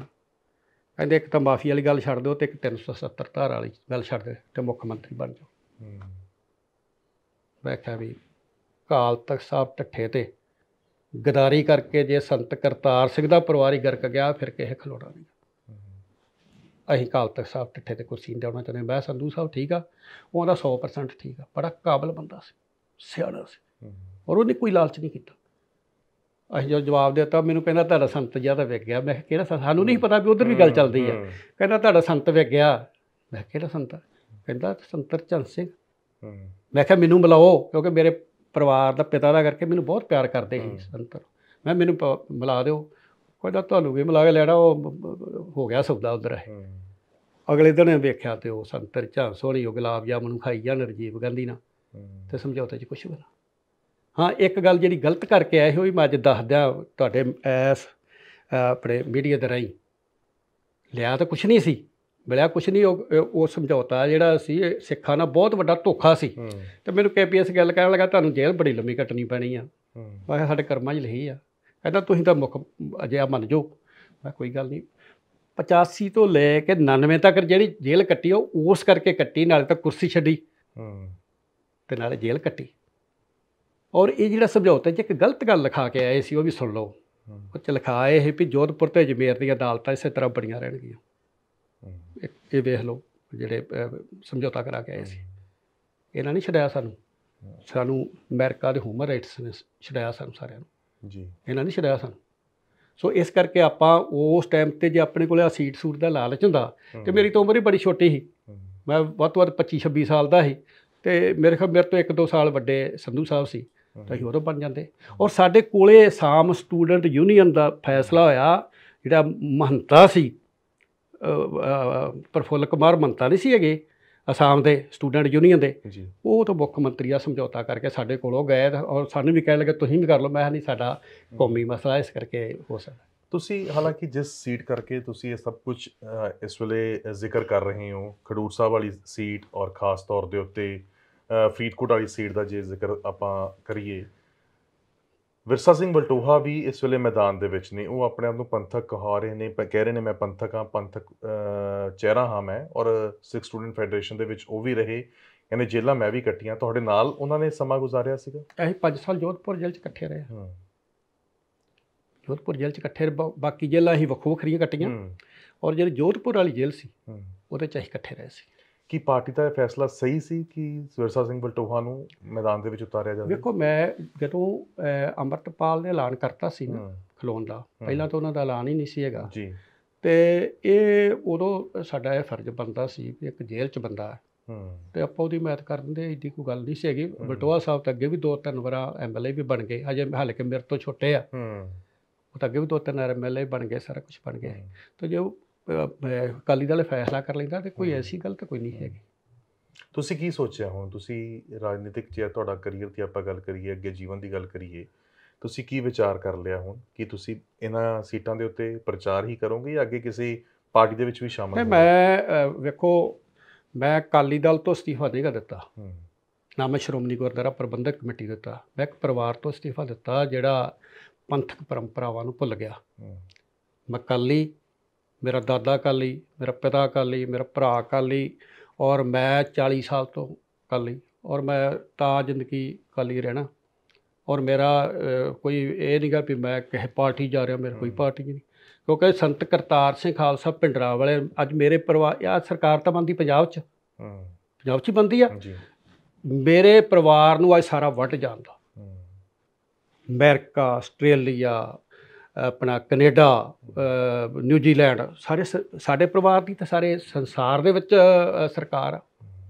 ਇਸ ਵੇਲੇ ਜਿੰਨੇ ਮੁਲਕ ਨੇ ਨਾ ਜਿੱਥੇ ਸਿੱਖ ਰਹਿੰਦਾ ਸਾਡੇ ਪਰਿਵਾਰ ਦੀ ਤਾਂ ਉੱਥੇ ਸਰਕਾਰ ਹੈਗੀ ਆ। ਅਸੀਂ ਇੱਥੇ ਆ ਨਿੱਕੀ ਜੀ ਸਰਕਾਰ ਨੂੰ ਕੀ ਕਰਨਾ ਜਾਂ ਮੈਂ ਪਾਰਲੀਮੈਂਟ ਨੂੰ ਕੀ ਕਰਨਾ। ਅਸੀਂ ਤਾਂ ਇੱਕ ਪੰਥਕ ਪਾਰਟੀ ਕਰਕੇ ਔਰ ਜਿਹੜੇ ਐਡੀ ਵੱਡੀਆਂ ਸ਼ਹੀਦੀਆਂ ਹੋ ਗਈਆਂ ਸੀ ਹੂੰ। ਇਸ ਪਲੇਟਫਾਰਮ ਦੇ ਉੱਤੇ ਉਹਨਾਂ ਦੇ ਪਰਿਵਾਰਾਂ ਦੀ ਮਤ ਵਾਸਤੇ ਔਰ ਉਹਨਾਂ ਦੇ ਪਰਿਵਾਰਾਂ ਨੂੰ ਨਿਆਂ ਲੈ- ਲੈਣ ਕੇ ਦੇਣ ਵਾਸਤੇ ਸ਼੍ਰੋਮਣੀ ਅਕਾਲੀ ਦਲ ਵਿੱਚ ਆਏ ਸੀ। ਤੇ ਸ਼ਾਇਦ ਉਹਨਾਂ ਨੂੰ ਔਰ ਉਹਨਾਂ ਨੂੰ ਕਿਸੇ ਨੂੰ ਨਿਆਂ ਨਹੀਂ ਮਿਲਿਆ। ਕੋਈ ਇੱਥੇ ਕਮਿਸ਼ਨ ਨਹੀਂ ਬਣਿਆ। ਆਸ ਹੈ। ਕਿਆ ਕਿਆ ਨਹੀਂ ਨਹੀਂ ਮਿਲਣਾ ਕਿੱਥੋਂ ਆ? ਜੋ ਸਾਡੇ ਆਪ- ਆਪਣੀਆਂ ਸਰਕਾਰਾਂ ਨੇ ਨਹੀਂ ਦਿੱਤਾ ਤੇ ਸਾਨੂੰ ਹੋਰ ਕਿੱਥੋਂ ਆਸ ਹੋਈ? 40 ਸਾਲ ਹੋ ਗਿਆ ਅੱਜ ਦਰਬਾਰ ਸਾਹਿਬ ਤੇ ਹਮਲਾ ਹੋਇਆ। ਨੂੰ 40ਵੀਂ ਵਰ੍ਹੇਗੰਢ ਆਪਾਂ ਮਨਾ ਰਹੇ ਹਾਂ। ਤੇ ਉੱਥੇ ਜਿਹੜੀਆਂ ਵਿਚਾਰੀਆਂ ਵਿਲਕਦੀਆਂ ਨੇ ਮਾਵਾਂ ਹੂੰ। ਜਿਨ੍ਹਾਂ ਜਿਨ੍ਹਾਂ ਨੂੰ ਟਾਇਰ ਪਾ ਪਾ ਕੇ ਸਾਰਤਾ ਠੀਕ ਹੈ ਨਾ? ਜਿਨ੍ਹਾਂ ਦੇ ਸਾਹਮਣੇ ਉਹਨਾਂ ਦੇ ਪੁੱਤ ਉਹਨਾਂ ਦੇ ਘਰ ਵਾਲੇ ਉਹਨਾਂ ਦੇ ਬੱਚੇ ਮਾਰਤੇ। ਇਹ ਨਿਆਂ 2022 ਦੇ ਵਿੱਚ ਵੀ ਤੁਸੀਂ ਮੈਂ ਕੋਈ 2000 ਨਾਰਾਜ਼ਗੀ ਹੋ ਗਈ ਸੀ ਤੁਹਾਨੂੰ? 2022 ਦੇ ਵਿੱਚ ਮੈਂ ਇੱਕ ਬਿਆਨ ਦਿੱਤਾ ਸੀਗਾ। ਕਾਲੀ ਮੇਰੇ ਦਿਲ 'ਚ ਇਹ ਵੀ ਕਾਲੀ ਦਲ ਜਿਹੜਾ ਫਿਰ ਪੈਰਾਂ ਤੇ ਆ ਜਾਊਗਾ। ਉਹ ਮੈਂ ਇਹ ਬਿਆਨ ਦਿੱਤਾ ਸੀ ਵੀ ਕਾਲੀ ਦਲ ਦੀ ਲੀਡਰਸ਼ਿਪ ਚੇਂਜ ਕਰੋ। ਤੇ ਉਸ ਗੱਲ ਦਾ ਸਰਦਾਰ ਸੁਖਬੀਰ ਸਿੰਘ ਬਾਦਲ ਨੇ ਗੁੱਸਾ ਕੀਤਾ ਸੀਗਾ। ਔਰ ਇੱਕ ਮੀਟਿੰਗ ਵੀ ਇੱਥੇ ਅਸੀਂ ਬੁਲਾਈ ਸੀ। ਰਵੀਕਰਨ ਕੱਲ ਉਹਨਾਂ ਦੇ ਘਰੇ ਜਦੀ ਹੋਈ ਬੁਲਾਈ ਸੀ। ਔਰ ਉਹ ਮੀਟਿੰਗ ਜਿਹੜੀ ਆ ਉਹਦੇ ਚ ਚੰਦੂ ਮਾਜਰਾ ਸਾਹਿਬ ਵੀ ਹੋਏ ਸੀ ਯਾਲੀ ਸਾਹਿਬ ਵੀ ਇਕੱਠੇ ਹੋਏ ਅਟਵਾਲ ਸਾਹਿਬ ਵੀ ਬੀਬੀ ਜਗੀਰ ਕੌਰ ਵੀ ਬੀਬੀ ਸੀ ਜਗੀਰ ਕੌਰ ਬੀਬੀ ਜਗੀਰ ਕੌਰ ਨੇ ਭਾਵੇਂ ਫੋਟੋ ਖਿਚਵਾ ਲਈ ਸੀ ਪਰ ਬਾਅਦ ਨਹੀਂ ਵਿੱਚ ਖਿਚਵਾਈ ਨਹੀਂ ਸੀ। ਨਹੀਂ ਫੋਟੋ ਨਹੀਂ ਖਿਚਵਾਈ ਉਹ। ਉਹ ਜੇ ਉਦੋਂ ਫੋਟੋ ਖਿਚਵਾ ਕੇ ਫੈਸਲਾ ਹੋ ਜਾਂਦਾ ਤੇ ਸ਼ਾਇਦ ਬੀਬੀ ਜਗੀਰ ਕੌਰ ਹੀ ਪ੍ਰਧਾਨ ਬਣ ਜਾਣੀ ਸੀ ਅਗਲੀ ਵਾਰੀ ਜਿਹੜੀ ਜਿਹੜੀ ਵੱਖਰੇ ਹੋ ਕੇ ਲੜੇ ਉਹ। ਜੀ। ਉਦੋਂ ਅਸਲ ਦੇ ਵਿੱਚ ਬੀਬੀ ਜਗੀਰ ਕੌਰ ਉਹ ਮੀਟਿੰਗ ਦਾ ਹਿੱਸਾ ਨਹੀਂ ਸੀ ਹੈਗੇ। ਉਹ ਗਏ ਵੈਸੇ ਭੋਗ ਤੇ ਆਏ ਸੀ ਨਹੀਂ ਉਹ ਭੋਗ ਤੇ ਨਹੀਂ ਕਿਤੇ ਵੀ ਨਹੀਂ ਆਏ ਸਾਰੇ ਅਸੀਂ ਉੱਥੋਂ ਆਏ ਆ ਆਪਣੇ ਤੋਂ ਜਿਹੜੀ ਹੈਗੀ ਨਾ ਇਧਰ ਗੁਰੂ ਕੀ ਬਾਗ ਦੀ ਵਰੇਗੰਢ ਸੀ। ਜੀ। ਸਾਰੇ ਉੱਥੋਂ ਆਏ ਹਾਂ। ਤੇ ਇੱਥੇ ਇੱਕ ਮੀਟਿੰਗ ਰੱਖੀ ਸੀ ਵੀ ਕਾਲੀ ਦਲ ਦੀ ਲੀਡਰਸ਼ਿਪ ਚੇਂਜ ਕਰਨ ਵਾਸਤੇ ਆਪਾਂ ਇੱਥੇ ਕੋਈ। ਵਿਚਾਰ ਕਰਨੀ ਆ। ਸਾਰਿਆਂ ਨੂੰ ਪਤਾ ਸੀ। ਬੀਬੀ ਜਗੀਰ ਕੌਰ ਨੂੰ ਨਹੀਂ ਪਤਾ। ਉਹ ਡਾਕਟਰ ਸ਼ਕੀਨ ਸਿੰਘ ਦੇ ਬੈਠੇ ਹੋਏ ਨਵੀਂ ਕਰਨੇ ਉਹਦੀ ਗੱਲ ਹੋਈ ਤੇ ਉਹਨੇ ਆਖਿਆ ਵੀ ਘਰੇ ਹੀ ਆ। ਤੇ ਬੀਬੀ ਜਗੀਰ ਕੌਰ ਹੁਣੀ ਉੱਥੇ ਆ ਗਏ ਪਰ ਚਾਂਸ ਆ ਗਏ। ਸਾਰਿਆਂ ਨੇ ਮੀਟਿੰਗ ਕੀਤੀ ਫਿਰ ਉਹ ਸਾਰੇ ਪੈਰ ਕਿਉਂ ਪਿਛਾਂ ਖਿੱਚ ਗਏ ਸੀ ਉਹ ਅਸਲ ਦੇ ਵਿੱਚ ਇਹ ਆ ਵੀ ਤੁਹਾਨੂੰ ਮੈਂ ਕੀ ਗੱਲ ਦੱਸਾਂ? ਜੇ ਖਿੱਚ ਗਏ ਤਾਂ ਜਹ ਹੈ ਕਿੱਥੇ ਆ? ਜੇ ਉਦਣ ਵੈਸੇ ਤਾਂ ਜੇ ਬੀਬੀ ਜਗੀਰ ਕੌਰ ਨਾ ਆਉਂਦੇ ਤਾਂ ਫੈਸਲਾ ਸ਼ਾਇਦ ਹੋ ਜਾਣਾ ਸੀਗਾ। ਪਰ ਚਾਂਸ ਆ ਗਏ ਉਹਨਾਂ ਨੂੰ ਪਤਾ ਨਹੀਂ ਸੀ ਹੈਗਾ। ਮੈਂ ਨਹੀਂ ਆਦਾ ਵੀ ਉਹਨਾਂ ਨੂੰ। ਕਿਉਂਕਿ ਬਾਅਦ ਚ ਵੀ ਉਹਨਾਂ ਨੂੰ ਫਿਰ ਉਹੀ ਗੱਲ ਕਰਨੀ ਪਈ ਜਿਹੜੀ ਉਦਣ ਕਰਨੀ ਸੀ। ਜੇ ਉਦਣ ਕਰ ਲੈਂਦੇ ਤੇ ਮੇਰੇ ਖਿਆਲ ਦੇ ਵਿੱਚ ਆ ਅਕਾਲੀ ਦਲ ਦੀ ਮਜ਼ਬੂਤੀ ਵੀ ਹੋ ਜਾਣੀ ਸੀ ਤੇ ਅਕਾਲੀ ਦਲ ਤਕੜਾ ਵੀ ਹੋ ਜਾਣਾ ਸੀਗਾ। ਸੋ ਉਹ ਉਹ ਜਿਹੜੀ ਮੀਟਿੰਗ ਸੀ ਉਹਦੇ ਕਰਕੇ ਵੀ ਮੈਂ ਵਿਦਨ ਅਕਾਲੀ ਦਲ ਮੇਰੇ ਦਿਲ 'ਚ ਸੀ ਮੈਂ ਉਹ ਮੇਰੀ ਕੋਸ਼ਿਸ਼ ਸੀ ਮੇਰੀ ਸੀ ਉਹ ਸਭ ਤੋਂ ਵੱਡੀ। ਮੈਂ ਤੁਹਾਨੂੰ ਸੱਚੀ ਗੱਲ ਦੱਸਾਂ ਜੀ। ਇਹ ਨਹੀਂ ਕਿ ਮੈਂ ਸੁਖਬੀਰ ਸਿੰਘ ਬਾਦਲ ਦੇ ਕੋਈ ਵਿਰੋਧ ਨਹੀਂ ਹੈਗਾ ਮੈਂ। ਸਿਰਫ ਇਹ ਜਦੋਂ ਉਹ ਉਹਨਾਂ ਦੇ ਨਾਂ ਤੇ ਅੱਜ ਅਕਾਲੀ ਦਲ ਜਿਹੜਾ ਬੜਾ ਲੰਮਾ ਟਾਈਮ ਹੋ ਗਿਆ ਸਰਦਾਰ ਪ੍ਰਕਾਸ਼ ਸਿੰਘ ਬਾਦਲ ਤੋਂ ਲੈ ਕੇ ਉਹਨਾਂ ਨੇ ਬੜਾ ਲੰਮਾ ਟਾਈਮ ਇੱਥੇ ਪੰਜਾਬ ਦੀ ਸਦਾ ਵਿੱਚ ਰਹੇ ਆ। ਲੇਕਿਨ ਅੱਜ ਕੱਲ ਜੇ ਲੋਕ ਉਹਨਾਂ ਨੂੰ ਨਹੀਂ ਪਸੰਦ ਕਰਦੇ ਤੇ ਮੇਰੇ ਦਿਲ 'ਚ ਇਹ ਵੀ ਕੋਈ ਪੰਥਕ ਲੀਡਰਸ਼ਿਪ ਅੱਗੇ ਲਿਆਂਦੀ ਜਾਵੇ ਅਕਾਲੀ ਦਲ ਨੂੰ ਬਚਾਇਆ ਜਾਵੇ। ਵਿਕਲਪ ਕੀ ਨਜ਼ਰ ਆਉਂਦਾ ਤੁਹਾਨੂੰ? ਹਾਂਜੀ। ਤੁਹਾਨੂੰ ਕੀ ਨਜ਼ਰ ਆਉਂਦਾ ਸੁਖਬੀਰ ਬਾਦਲ ਦੀ ਜਗ੍ਹਾ ਦੇ ਉੱਤੇ ਕੌਣ ਹੋਣਾ ਚਾਹੀਦਾ? ਨਹੀਂ ਇਹ ਮੈਂ ਵਕਤ ਤੋਂ ਹੁਣ ਪਹਿਲਾਂ ਦੀ ਗੱਲ ਆ। ਅਜੇ ਸਾਰੇ ਸਾਥੀਆਂ ਨਾਲ ਸਲਾਹ ਕਰਾਂਗੇ। ਔਰ ਪੰਥ ਬੜੇ ਪੰਥਕ ਧੈਸ਼ੀ ਆ ਜਿਹੜੇ ਉੱਥੇ ਵੀ ਵਿਚਾਰੇ ਉੱਚ ਬੈਠੇ ਆ ਨਾ ਉਹ ਵੀ ਇਹੋ ਗੱਲ ਆਂਦੇ ਆ ਵੀ ਹੁਣ ਇਹ ਇਹ ਜਿਹੜਾ ਆਪਣਾ ਹੈਗਾ ਨਾ ਜਿਹੜੇ ਅਸੀਂ ਬੇੜੀ ਤੇ ਚੜੇ ਇਹਦੇ ਤੇ ਪਾਰ ਨਿਗਾ ਲੰਘਣਾ। ਤੇ ਆ ਇਲੈਕਸ਼ਨਾਂ ਦੇ ਰਿਜ਼ਲਟ ਆ ਲੈਂਦੇ ਇਸ ਤੋਂ ਬਾਅਦ ਤੁਹਾਨੂੰ ਸਾਰਾ ਕੁਝ ਬੜਾ ਕੁਝ ਕਲੀਅਰ ਹੋ ਜਾਊਗਾ। ਲੱਗਦਾ ਕਿ ਅਕਾਲੀ ਦਲ ਰਿਵਾਈਵ ਕਰੂਗਾ ਇਹਨਾਂ ਇਲੈਕਸ਼ਨਾਂ ਦੇ ਵਿੱਚ? ਨਹੀਂ ਮੈਂ ਇਹਦੇ ਬਾਰੇ ਨਹੀਂ ਕੁਝ ਕਹਿਣਾ ਚਾਹੁੰਦਾ। ਹੂੰ। ਹਾਂ ਆ ਖਡੂਰ ਸਾਹਿਬ ਵਾਲੀ ਸੀਟ ਜਿਹੜੀ ਆ ਜੀ। ਇਹ ਮੈਨੂੰ ਲੱਗਦਾ ਵੀ ਅੰਮ੍ਰਿਤਪਾਲ ਸਿੰਘ ਨੂੰ ਲੋਕ ਵੋਟਾਂ ਪਾ ਦੇਣ ਕਿ ਲਹਿਰ ਖੜੀ ਹੋ ਗਈ ਆ ਤੇ। ਇੱਕ ਪਰਲੀ ਜਿਹੜੀ ਆ। ਆਪਣੀ ਫਰੀਦਕੋਟ ਵਾਲੀ ਸੀਟ। ਕਿਉਂਕਿ ਇਹ ਦੋ ਸੀਟਾਂ ਜਿਹੜੀਆਂ ਇੱਥੇ ਲੋਕ ਆਪ ਮੁਹਾਰੇ ਤੁਸੀਂ ਹੁਣ ਆਪ ਵੀ ਜਾਓਗੇ ਪ੍ਰਚਾਰ ਕਰਨ ਮੈਂ ਜਾਊਂਗਾ। ਜਾਣਾ ਚਾਹੀਦਾ ਮੈਨੂੰ। ਜੇ ਮੈਂ ਪੰਥਕ ਪਰਿਵਾਰਾਂ ਮਗਰ ਨਾ ਜਾਊਂਗਾ ਤੇ ਮੈਂ ਹੋਰ ਕਿਹਦੇ ਮਗਰ ਜਾਊਂਗਾ। ਜਾਊਂਗਾ। ਮੇਰਾ ਫਰਜ਼ ਬਣਦਾ ਜਾਣ ਦਾ ਮਨ। ਹਾਲਾਂਕਿ ਤੁਹਾਡੇ ਪੁੱਤਰ ਤਾਂ ਪਹਿਲਾਂ ਹੀ ਪ੍ਰਚਾਰ ਕਰ ਇਹ ਰਹੇ ਨੇ। ਕਵਰਚੰਦ ਸਿੰਘ ਇਹ ਅਮਰੀਕਾ ਰਹਿੰਦੇ ਸੀ। ਮੇਰੀ। ਨੋ ਇਹ ਵਿਆਹੇ ਉਧਰ ਨੇ। ਮੇਰੀ ਰਾਣੀ ਵੀ ਉਧਰ ਸੀ। ਬੜੇ ਪੈਸੇ ਕਮਾਉਂਦੇ ਸੀ। ਮੈਂ ਇਹਨਾਂ ਨੂੰ ਇਸ ਕਰਕੇ ਸੱਦ ਲਿਆ ਕਿ ਪੰਜਾਬ ਦੇ ਵਿੱਚ ਇੱਕ ਤਾਂ ਨਸ਼ਾ ਹੋ ਗਿਆ। ਇੱਕ। ਪੰਜਾਬ ਦੇ ਨੌਜਵਾਨ ਜਿਹੜੇ ਬਾਹਰ ਸਾਰੇ ਭੱਜ ਗਏ ਤੇ ਕੋਈ ਗੁੱਸਾ ਨਾ ਕਰ ਲੇ ਇੱਥੇ ਮਗਰੋਂ ਆਣ ਕੇ ਭਈਆਂ ਦਾ ਰਾਜ ਹੋ ਜਾਣਾ ਹੈ। ਪੰਜਾਬ ਦੀ ਧਰਤੀ ਤੇ ਜਿਹੜੇ ਸਾਡੇ। ਗੁਰੂਆਂ ਦੀ ਪੀਰਾਂ ਪਕੰਬਰਾਂ ਦੀ ਧਰਤੀ ਹੈ। ਤੇ ਜਿੱਡੀ ਵੱਡੀ ਆਪਣੀ ਮੈਂ ਕਿਹਾ ਵਿਰਾਸਤ ਆ। ਮੈਂ ਕਵਰਚਰਨ ਸਿੰਘ ਨੂੰ ਕਿਹਾ ਵੀ ਆਪਣੀ ਵਿਰਾਸਤ ਸੰਭਾਲ ਪੈਸੇ ਨੂੰ ਕੀ ਕਰਨਾ ਆਪਾਂ? ਜੇ ਆਪਣੀ ਵਿਰਾਸਤ ਕਾਇਮ ਰਹਿ ਗਈ ਤੇ ਸਭ ਕੁਝ ਆਪਣੇ ਕੋਲੇ ਆ ਜੂ। ਮੇਰੀ ਨੋਹ ਰਾਣੀ ਬੜੇ ਪੈਸੇ ਕਮਾਉਂਦੀ ਸੀ ਉਧਰ। ਉਹ ਵੀ ਆ ਗਈ ਬੜੀ ਚੰਗੀ ਆ ਔਰ ਇਹ ਆਣ ਕੇ ਸਿੱਖੀ ਦਾ ਪ੍ਰਚਾਰ। ਇਹਨੇ ਆਣ ਕੇ ਸਕੂਲਾਂ ਕਾਲਜਾਂ 'ਚ ਯੂਨਿਟ ਕਾਇਮ ਕੀਤੇ ਆ। ਸਿੱਖੀ ਦਾ ਪ੍ਰਚਾਰ ਕੀਤਾ ਇੱਕ ਨਾਰਾ ਦਿੱਤਾ ਸਾਡੀ ਦਸਤਾਰ ਸਾਡਾ ਤਾਜ। ਉਹ ਨਾਰਾ ਮਗਰੋਂ ਉਹ ਯੂਥ ਵਿੰਗ ਨੂੰ ਵੀ ਲਾਉਣਾ ਪਿਆ ਅਕਾਲੀ ਦਲ ਨੂੰ ਵੀ ਲਾਉਣਾ ਪਿਆ। ਲਾਉਣਾ ਚਾਹੀਦਾ ਇਹੋ ਹੀ ਅਸੀਂ ਚਾਹੁੰਦੇ ਸੀ। ਸੋ ਸਭ ਤੋਂ ਪਹਿਲਾਂ ਸਾਡੇ ਪਰਿਵਾਰ ਜਿਹੜੇ ਆ ਅਸੀਂ ਸਿੱਖੀ ਵਾਸਤੇ ਪੰਥ ਵਾਸਤੇ ਜਿਹੜੇ ਆ ਉਹ ਜਿਸ ਤਰ੍ਹਾਂ ਪਹਿਲਾਂ ਮੇਰੇ ਪਿਤਾ ਜੀ ਕੰਮ ਕਰਦੇ ਰਹੇ ਆ ਤਰ੍ਹਾਂ ਭਾਈ ਮਰੀਕ ਸਿੰਘ ਕਰਦੇ ਰਹੇ ਆ ਔਰ ਉਸੇ ਤਰ੍ਹਾਂ ਮੈਂ ਵੀ ਇਸੇ ਵਿਰਾਸਤ ਨੂੰ ਗਾਂਹ ਤੁਰੂੰਗਾ ਮੇਰਾ ਬੇਟਾ ਵੀ ਉਸੇ ਵਿਰਾਸਤ ਨੂੰ ਹੀ ਗਾਂਹ ਤੁਰਾਂਗੇ ਅਸੀਂ ਪੰਥਾਂ। ਪੰਥ ਸੀ ਪੰਥ ਹਾਂ ਤੇ ਪੰਥ ਹੀ ਰਵਾਂਗੇ। ਦੁੱਖ ਹੈ ਅੱਜ ਅਕਾਲੀ ਦਲ ਨੂੰ ਛੱਡਤਾ। ਬੜਾ ਮਨ ਭਰਿਆ। ਰੋਣ ਵੀ ਆਉਂਦਾ ਮਨ ਵੀ ਭਰਿਆ ਪਰ ਇਹ ਪੰਥ ਪੰਥ ਨਹੀਂ ਰਹਿ ਗਿਆ।